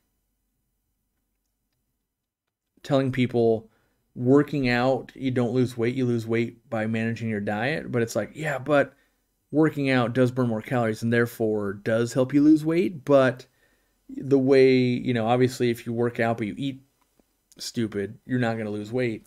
Um, kind of CO2 the same thing. Like you can definitely get there without using CO2, but using CO2 makes it easier and it does help, but doesn't have to be done that way. Nuances, I guess. Can I cut and replant val runners? My val is sending runners into rocks in the hardscape. Yeah, just give it a little trim, plant it, and uh, you could also just pick it up. You know, and I, am doing this move because it'll be like, here's a plant, here's a plant, here's a plant, here's a plant, and roots. You can kind of pick it up and kind of move it and plant it back down. You can control which way it'll grow. So you can do that too. You could also just like the one that's trying to go into the wall or the roots, you could go, and we're going to make a turn and make you go back this way. Do I have any requirements of our RPP stores to keep stuff in stock? There's one in area that ran out of something really quick. I said I'll just wait for the next shipment. Guy said it might be a while. Nope, we don't have any requirements. It's kind of an impossible thing. Like, it might be a while because they might be struggling or they might hate us or, you know, we do have a minimum to buy, but we don't require anyone because just because like I'm trying to think of a good example. Imagine uh, imagine we sell to a store and they focus on African cichlids and they I'm trying to think of a product that would be bad for African cichlids like um, let's say it's our nano net right and they bought three and then the three like guppy customers bought them all and then they're not going to place another order for a bunch of them because that's not their target clientele. So we don't come in and we we don't tell people RPP stores what they have to stock or how much they have to.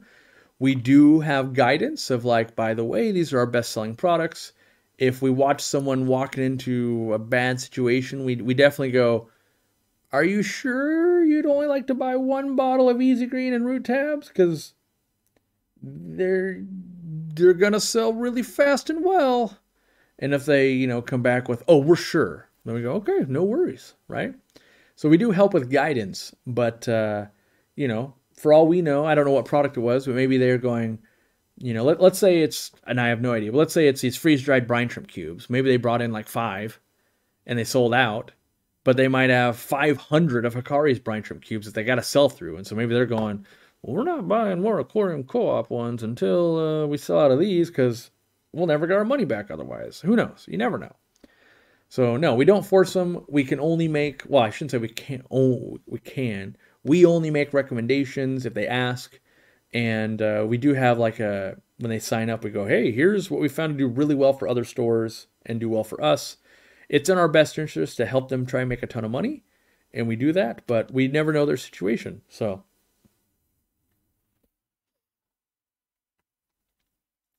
you know, it, it's it's weird. You know, I watch people do weird things all the time where they buy, you know, like oh, we're gonna buy two of each light, and I'm going, but that doesn't make any sense.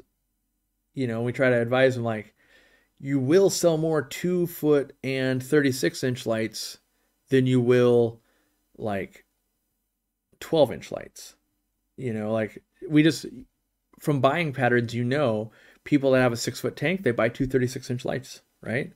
And so when you buy two 36 inch lights, those lights can handle 40 breeders, they can handle 65 gallon talls, and they also handle 125 gallon, 180 gallon, 150 gallon, 210 gallon. And so it's kind of like you realize you're buying two lights, but for most of those tanks I just listed, two lights is one tank. And so we'd be telling them like, yeah, I get it. You're going to buy two four foot lights, but you should be buying in that same vein for every two four footers, you should buy four 36 inch lights. It seems counterintuitive, but we have aggregate data of insane amounts of sales. So sometimes, you know, but maybe they know, oh, we only sell 40 breeders, and so it's going to be one for one. We can never know the local knowledge or maybe they're pre-selling them and they go, that's all people ordered. So we we can give guidance, but we don't force anyone to do anything. They technically they go, we'll never sell these EasyGreen. It's fine with us. You don't have to, I guess. They can because the, the alternative is you can always come buy it from us, right? So if the store says I'm not going to carry it or it's going to take years for us to order it, you can order it from us. But it's usually in their best interest to keep most things in stock, and I think most stores will and they're trying their best. You never know what's going on. Like if you're a store in Texas, for instance, like power outages and stuff, like oh well, we had bad sales, or if you're in a in a state with lots of snow and it's you're having to close a lot. Like I know a Twin City Guppies, he's in a mall, and if it snows enough, they just close the mall. He doesn't even get a choice. It's not like he can be open, and so there's extra stuff that we won't know all the intricacies of each business, but we can we can try and offer assistance as best we can can. Shout out to my local fish store, Ocean Design, who finally is a local partner and the only one in the entire city of Chicago. Congrats to them. Hopefully, you support them well and they will reap the benefits of the aquarium co op.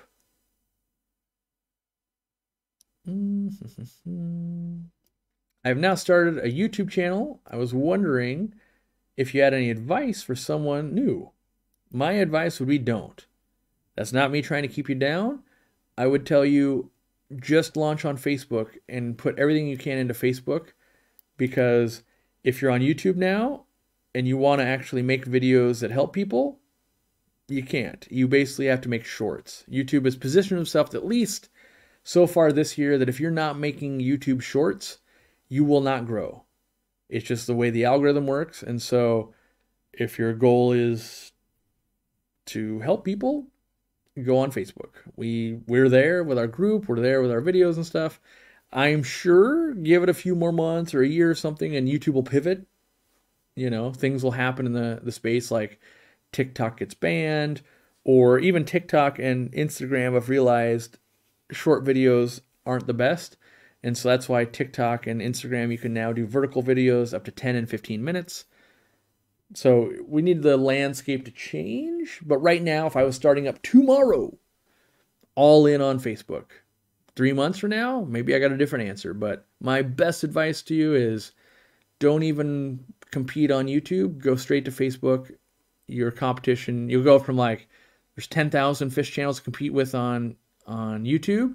You go over to Facebook and you're like, oh, there's seven, literally seven, right? And that doesn't count people that are just like I share my YouTube videos over here. I'm talking people that actually are uploading natively and putting effort into their brand on uh, Facebook for fish, the fish industry. It's a tiny number that are actually putting in effort. There's lots of people that go, well, I have some stuff sitting over there and it does some stuff, but you know, like us, we have moderators over there. We're actively creating content. We put time and energy into it every single day because that's where it's at right now. We also do it on YouTube because we're already towards the top of the pile. But if I was starting from zero today, I would just go, yep, and we're just going to avoid that one for now and wait for something to change where it makes sense.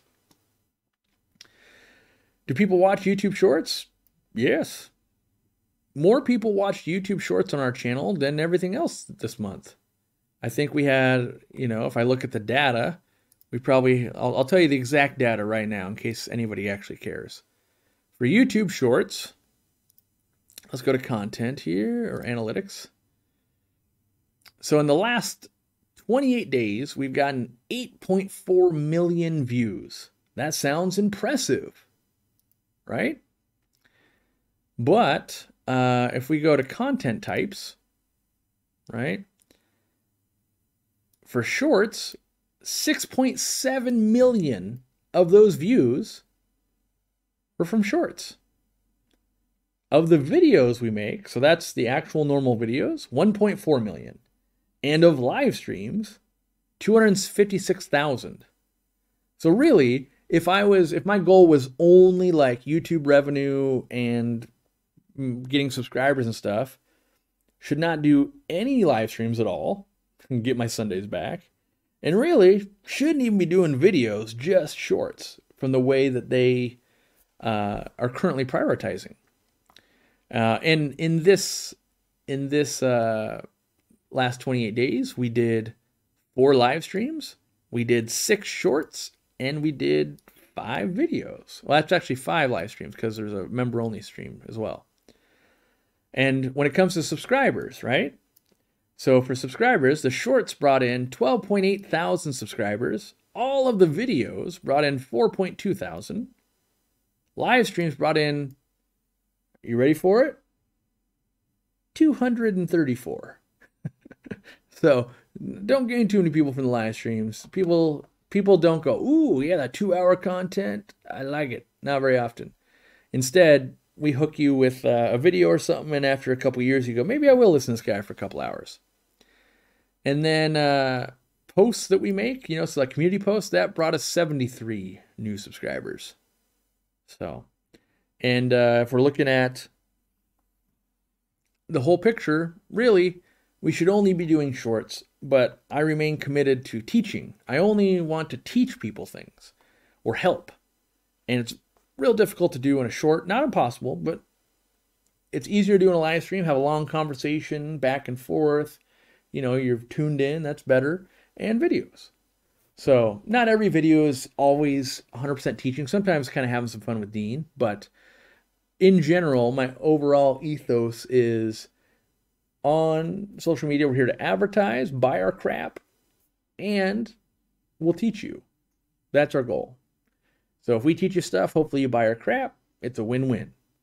Much harder to do. Like I don't like that value proposition with shorts as much. Like yeah, I could teach you how to feed this food in a short, but you know my three tips, for instance, took an hour today.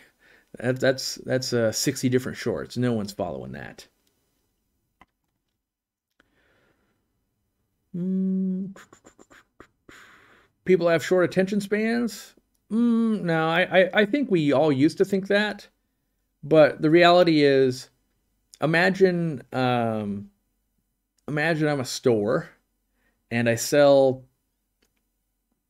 cheeseburgers and and chicken sandwiches, right? And you've been buying cheeseburgers from us for 10 years and now I start raising the price on uh, cheeseburgers and lowering the price on chicken sandwiches. On all the promotion, I start promoting chicken sandwiches, but not cheeseburgers. And I keep doing those types of things over and over and over and over and over again, right? Eventually, you start going, man, people really like chicken sandwiches. Because every, looking at every other person sitting here, they're eating a chicken sandwich. And when you look at it and you go, oh, chicken sandwiches are a dollar and cheeseburgers are $20. Oh, and every chicken sandwich you buy, you get five free. That's not actually the real data. It's just skewed. And, and the same thing is actually happening in, um, in the shorts, like on Instagram and Facebook and TikTok, there's bonuses. So if I upload a short, like right now, I know, and they're ending this program now because running out of money because of the economy. But there was up to $8,000 bonus every month if you uploaded shorts. So they were incentivizing the creator go upload shorts. We'll pay you way more money to do that. Right? And YouTube is doing that with upload shorts. We will force it down people's throats, whether they like it or not. We'll make changes to the app and the algorithm and these things. And so it's not that necessarily people only have short attention spans. It's mostly it's more like a chicken and the egg. Like with enough forcing, people are forced to watch it. And then the meta evolves and and stuff keeps going and blah blah blah. And so I think at the you know, as I talk to other creators and other people, the thing that's remained true over time, the last hundred years, good quality content at any length wins.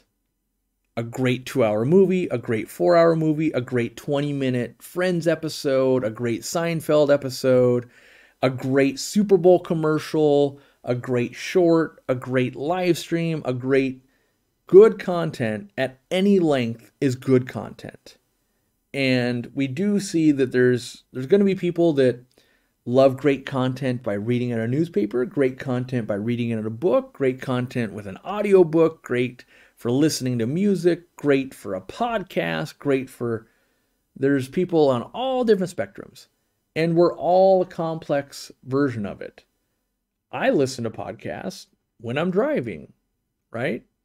I don't watch shorts when I'm driving. I pretty much never watch shorts. But Maybe I would watch shorts if I had a normal job and I had a 10 minute break and I was inside Costco and it took me five, you know, three minutes to get outside to sit, taking a drink, sitting there, watching four or five different shorts. Ugh, I got three minutes. I got to walk back to the clocking clock. Maybe that's what I do, right? But then that person gets a different job and now they're at a desk job and maybe they're watching live streams. Maybe they're watching long form videos. And so I think it's a lot more nuanced than ah, people don't have attention spans. I think that's what we thought, but I actually think now it's a chicken and the egg thing of, well, people are going to like what they're, you know, if you've never been exposed, like the person at the beginning of the chat, never had a taco in their life. They don't love tacos because they've never had one, right? And if you get fed shorts all the time, you've never had a two hour podcast, how would you know if you liked it? You never experienced it yet. So I do think there's some some outside factors going on, and uh, but I would I would go on YouTube or I mean I would go on Facebook right now if I was starting today. Who knows about tomorrow? Story is always a king. Audio quality is queen. Mm, no, I, I think audio is king. You could like you can sit down with another human and if you tell a good story with good audio as in you're kind of animated and you have voice inflections and you don't stutter and you don't say um and ah and, and you can just tell a story because you've lived it, I think that does better than the visual. Whereas if I could act out an entire story, but you have no audio to it at all, I think it won't be as good. Um, but yes, both are important. And in general, good things are good. It's such a simple statement of like, make something good and it will do well, right? That's just how the world works.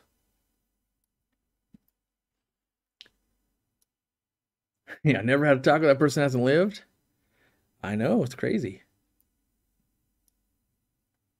Aquarium Co-op in Europe and UK. We don't have any any stores or anything there. I will be in Europe though. Uh, I just bought tickets last night.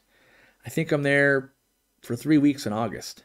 So I know, I think the plan is to do some stuff in Germany, visit Croatia and Albania, and wherever else we. I, think there's a, uh, a place, a store I want to visit. Visit. I think it's in Bavaria. So still planning on where we're actually going to go, but I got three weeks to kind of meander around uh, Europe and film for you guys. That's my plan. There's still lots of places I want to visit that I didn't get to last time, and so going during the summer so we can do a little more outside nature stuff and it's not freezing cold.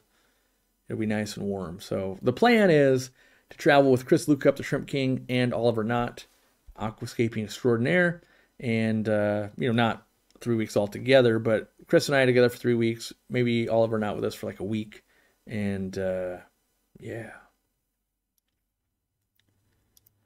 Shorts are up to 60 seconds now. That extra time helps where you can get some great information. Yeah, that's evolution, right? Shorts, when they started, only 15 seconds. Now they're up to 60 seconds. Uh, Facebook kind of did the same thing 15 seconds, then went to a minute, then went to three minutes. Now they're at 10 minutes. TikTok is now up to 15 minutes. And what they're finding, so what they basically found, if I'm breaking it down for you guys, is that the content that exists at 15, 30 seconds at a, at a minute, no advertiser wants to advertise on it because just in general the the quality of what the visuals are and, the, and what comes together didn't make Ford want to be like, yeah, they want to buy a truck, right? But like the so a good thing for you guys to know is the ads that'll be on this live stream will pay way more than what's on a video, and a video will pay way more than what's on a on a, a short, right? So maybe I can. Does my revenue get broken out like that? Can I tell you guys what we made? Mm, I don't know if it's. Hmm. I don't know if it's. Wait, maybe here. Yeah. So all the videos. So even though we only release a video every week, right? Obviously, we have like a thousand videos over the years. Been on YouTube 10 years. So all those views, the 1.6 million or whatever that number was, pays us $7,000, 600 $7,630. Then you got the live stream, right? It only got 256,000 views. You're going, that's not many at all. 1.4 million versus quarter million? Well, the quarter million on the live stream paid us $4,735. Not bad, right? And then you go to shorts. We had 6 point what was it, 6.7 million in shorts.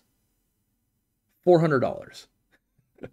so it's it's literally just like ah, there's not even like money there. So for every 1000 views on a on a short, it's 6 cents.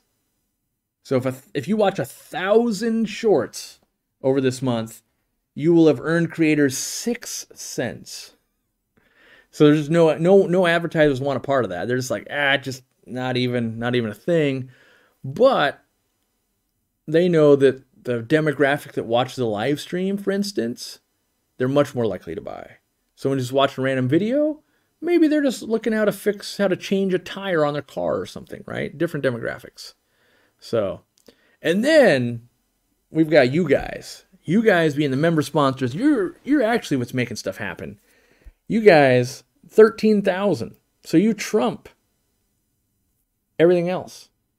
Right? That's what I love about it. I love the fact that I am here to educate you guys. And I know you guys are taking care of us and helping us do things, whether or not YouTube decides, well, we're going to push this or push that this year or whatever.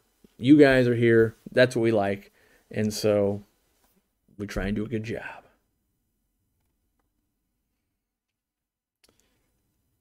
At least you grow your subscribers. Yes, that is the benefit from shorts is it grows subscribers. What we don't know is they haven't really given us good optics. Do those subscribers on shorts, do they actually make the journey and start watching videos?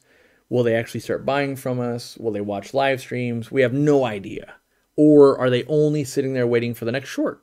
Don't know. Don't have good optics. So I like to like to hope that if I teach you something in a minute you might watch a 10 minute video and go, ooh, wow, I learned more. And then maybe at some point you go, ooh, I want to learn even more and get to watching a two hour video in a perfect world. Who knows? Croatia, the homeland of my family. Make sure to visit Dubrovnik and read about Ragusa before you have before if you have time. All right. I'm, I honestly don't know if I'll have time, but I'll, I will see what I can do.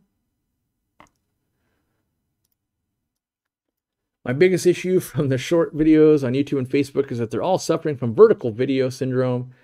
I actually believe I thought this years ago and we actually we actually tried this and you guys thought I was an idiot.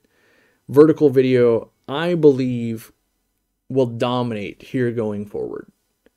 I actually think what we're going to see is that vertical video will take over all video forms outside of movie theaters and TVs. Now, I realize most people go, "Nuh, I don't like it. Mm-mm, that ain't how it's going to be." And I will tell you, yes, current day, that is correct. But when more creators get good cameras and they learn how to film vertically and put on a good presentation and your phone can be vertical and there's more phones that are getting bigger and more like already for website sales it's like 80% 80% of people buy from their phone as opposed to a desktop computer. And for someone like me who is a desktop computer guy or a laptop i'm just going there's no way that's real. But if you look at society so we we posted that we're hiring a part-time customer service rep. There were people that don't own laptops. They don't own computers. They only own a phone. There's people that don't have internet. They only have internet through their phone. I think more and more we're going to see more of that.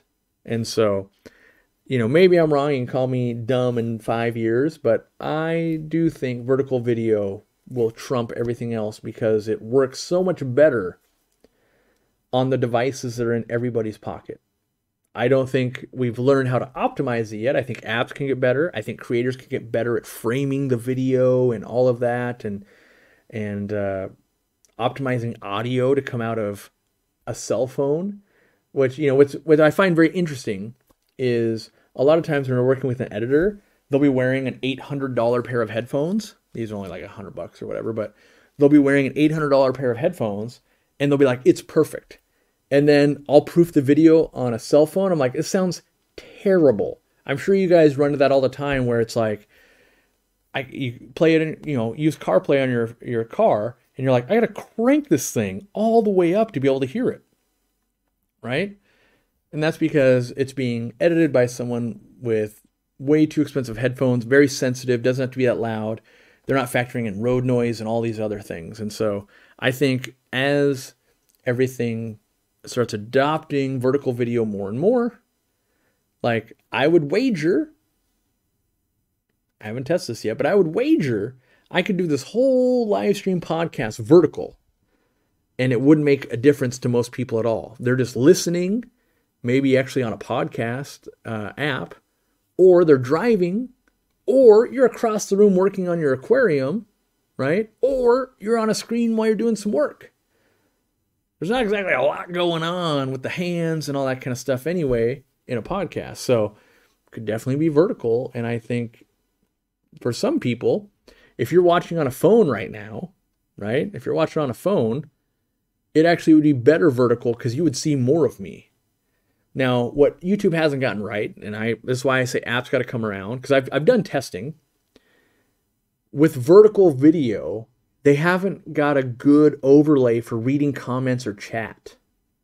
With horizontal video, so a horizontal video at the top of the screen, right?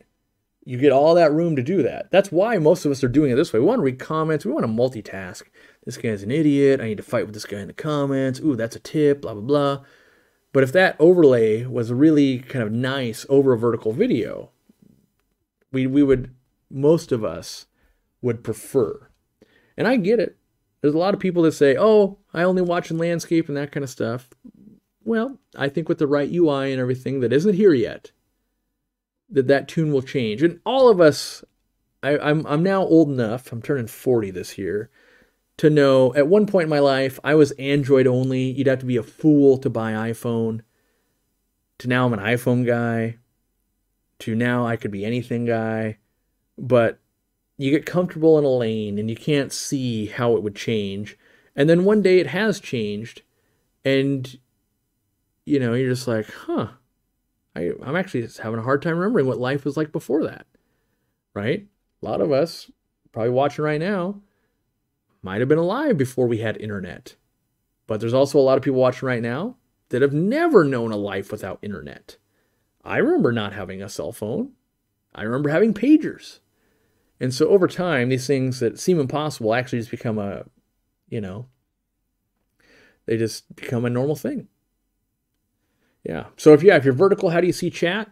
You can't. It's a limitation right now. But once they, you know, once they kind of make that better, more people will adopt it. So sometimes it's technology, sometimes it's people, sometimes it's you know experimenting. When those things start lining up is when we truly get change. And uh, you know, if all phones become kind of folding phones where they're much more wide like an iPad, maybe horizontal video will win.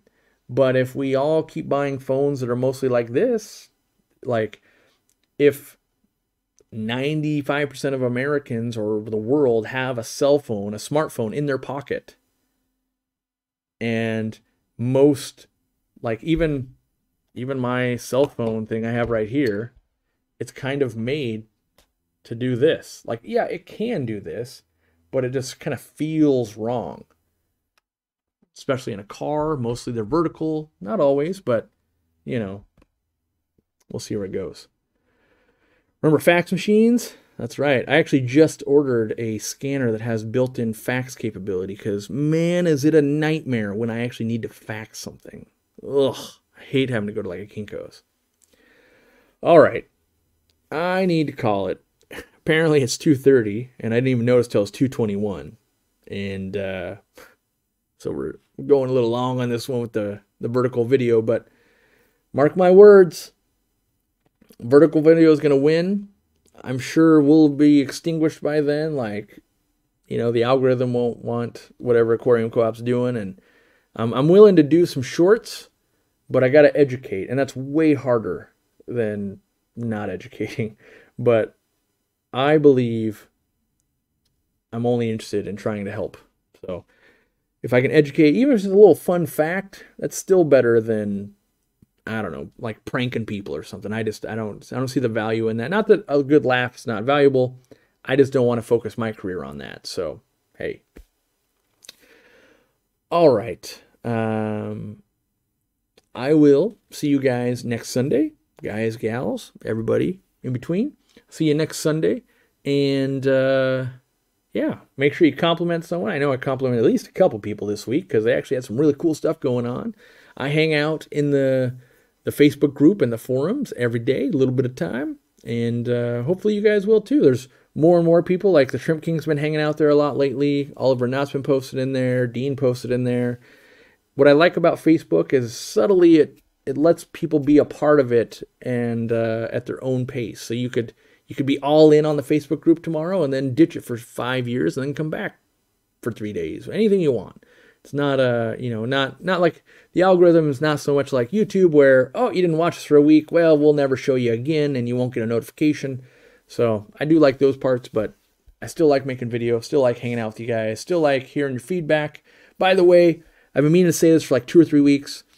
When I was talking about Velvet a few weeks ago, someone said, turn the light out because it's photo is it foot not photosynthetic photo whatever it is velvet needs uh, light to grow and replicate and i knew that i did turn the light out and i used salt and cross my fingers i might have gotten it. it took like a week but i may have it may that may be the double the double uh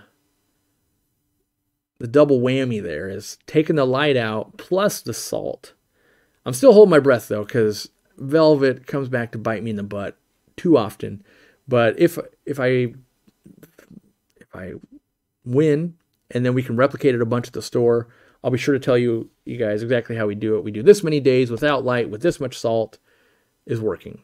If it doesn't, then hey, you'll never hear it about again. But uh, I just wanted to wanted to give the kudos to whoever mentioned that last time.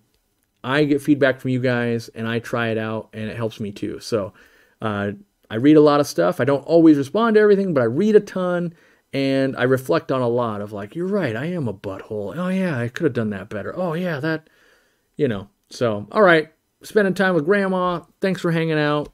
Tell someone they got an awesome tank this week, and uh, we'll see you next week, hopefully. And uh, if I if I get out of short this week, maybe we'll go viral. Who knows? Or I just won't do it. And uh, you know, I, I I did six last month, and I've done none for like two weeks. So we'll see how that goes.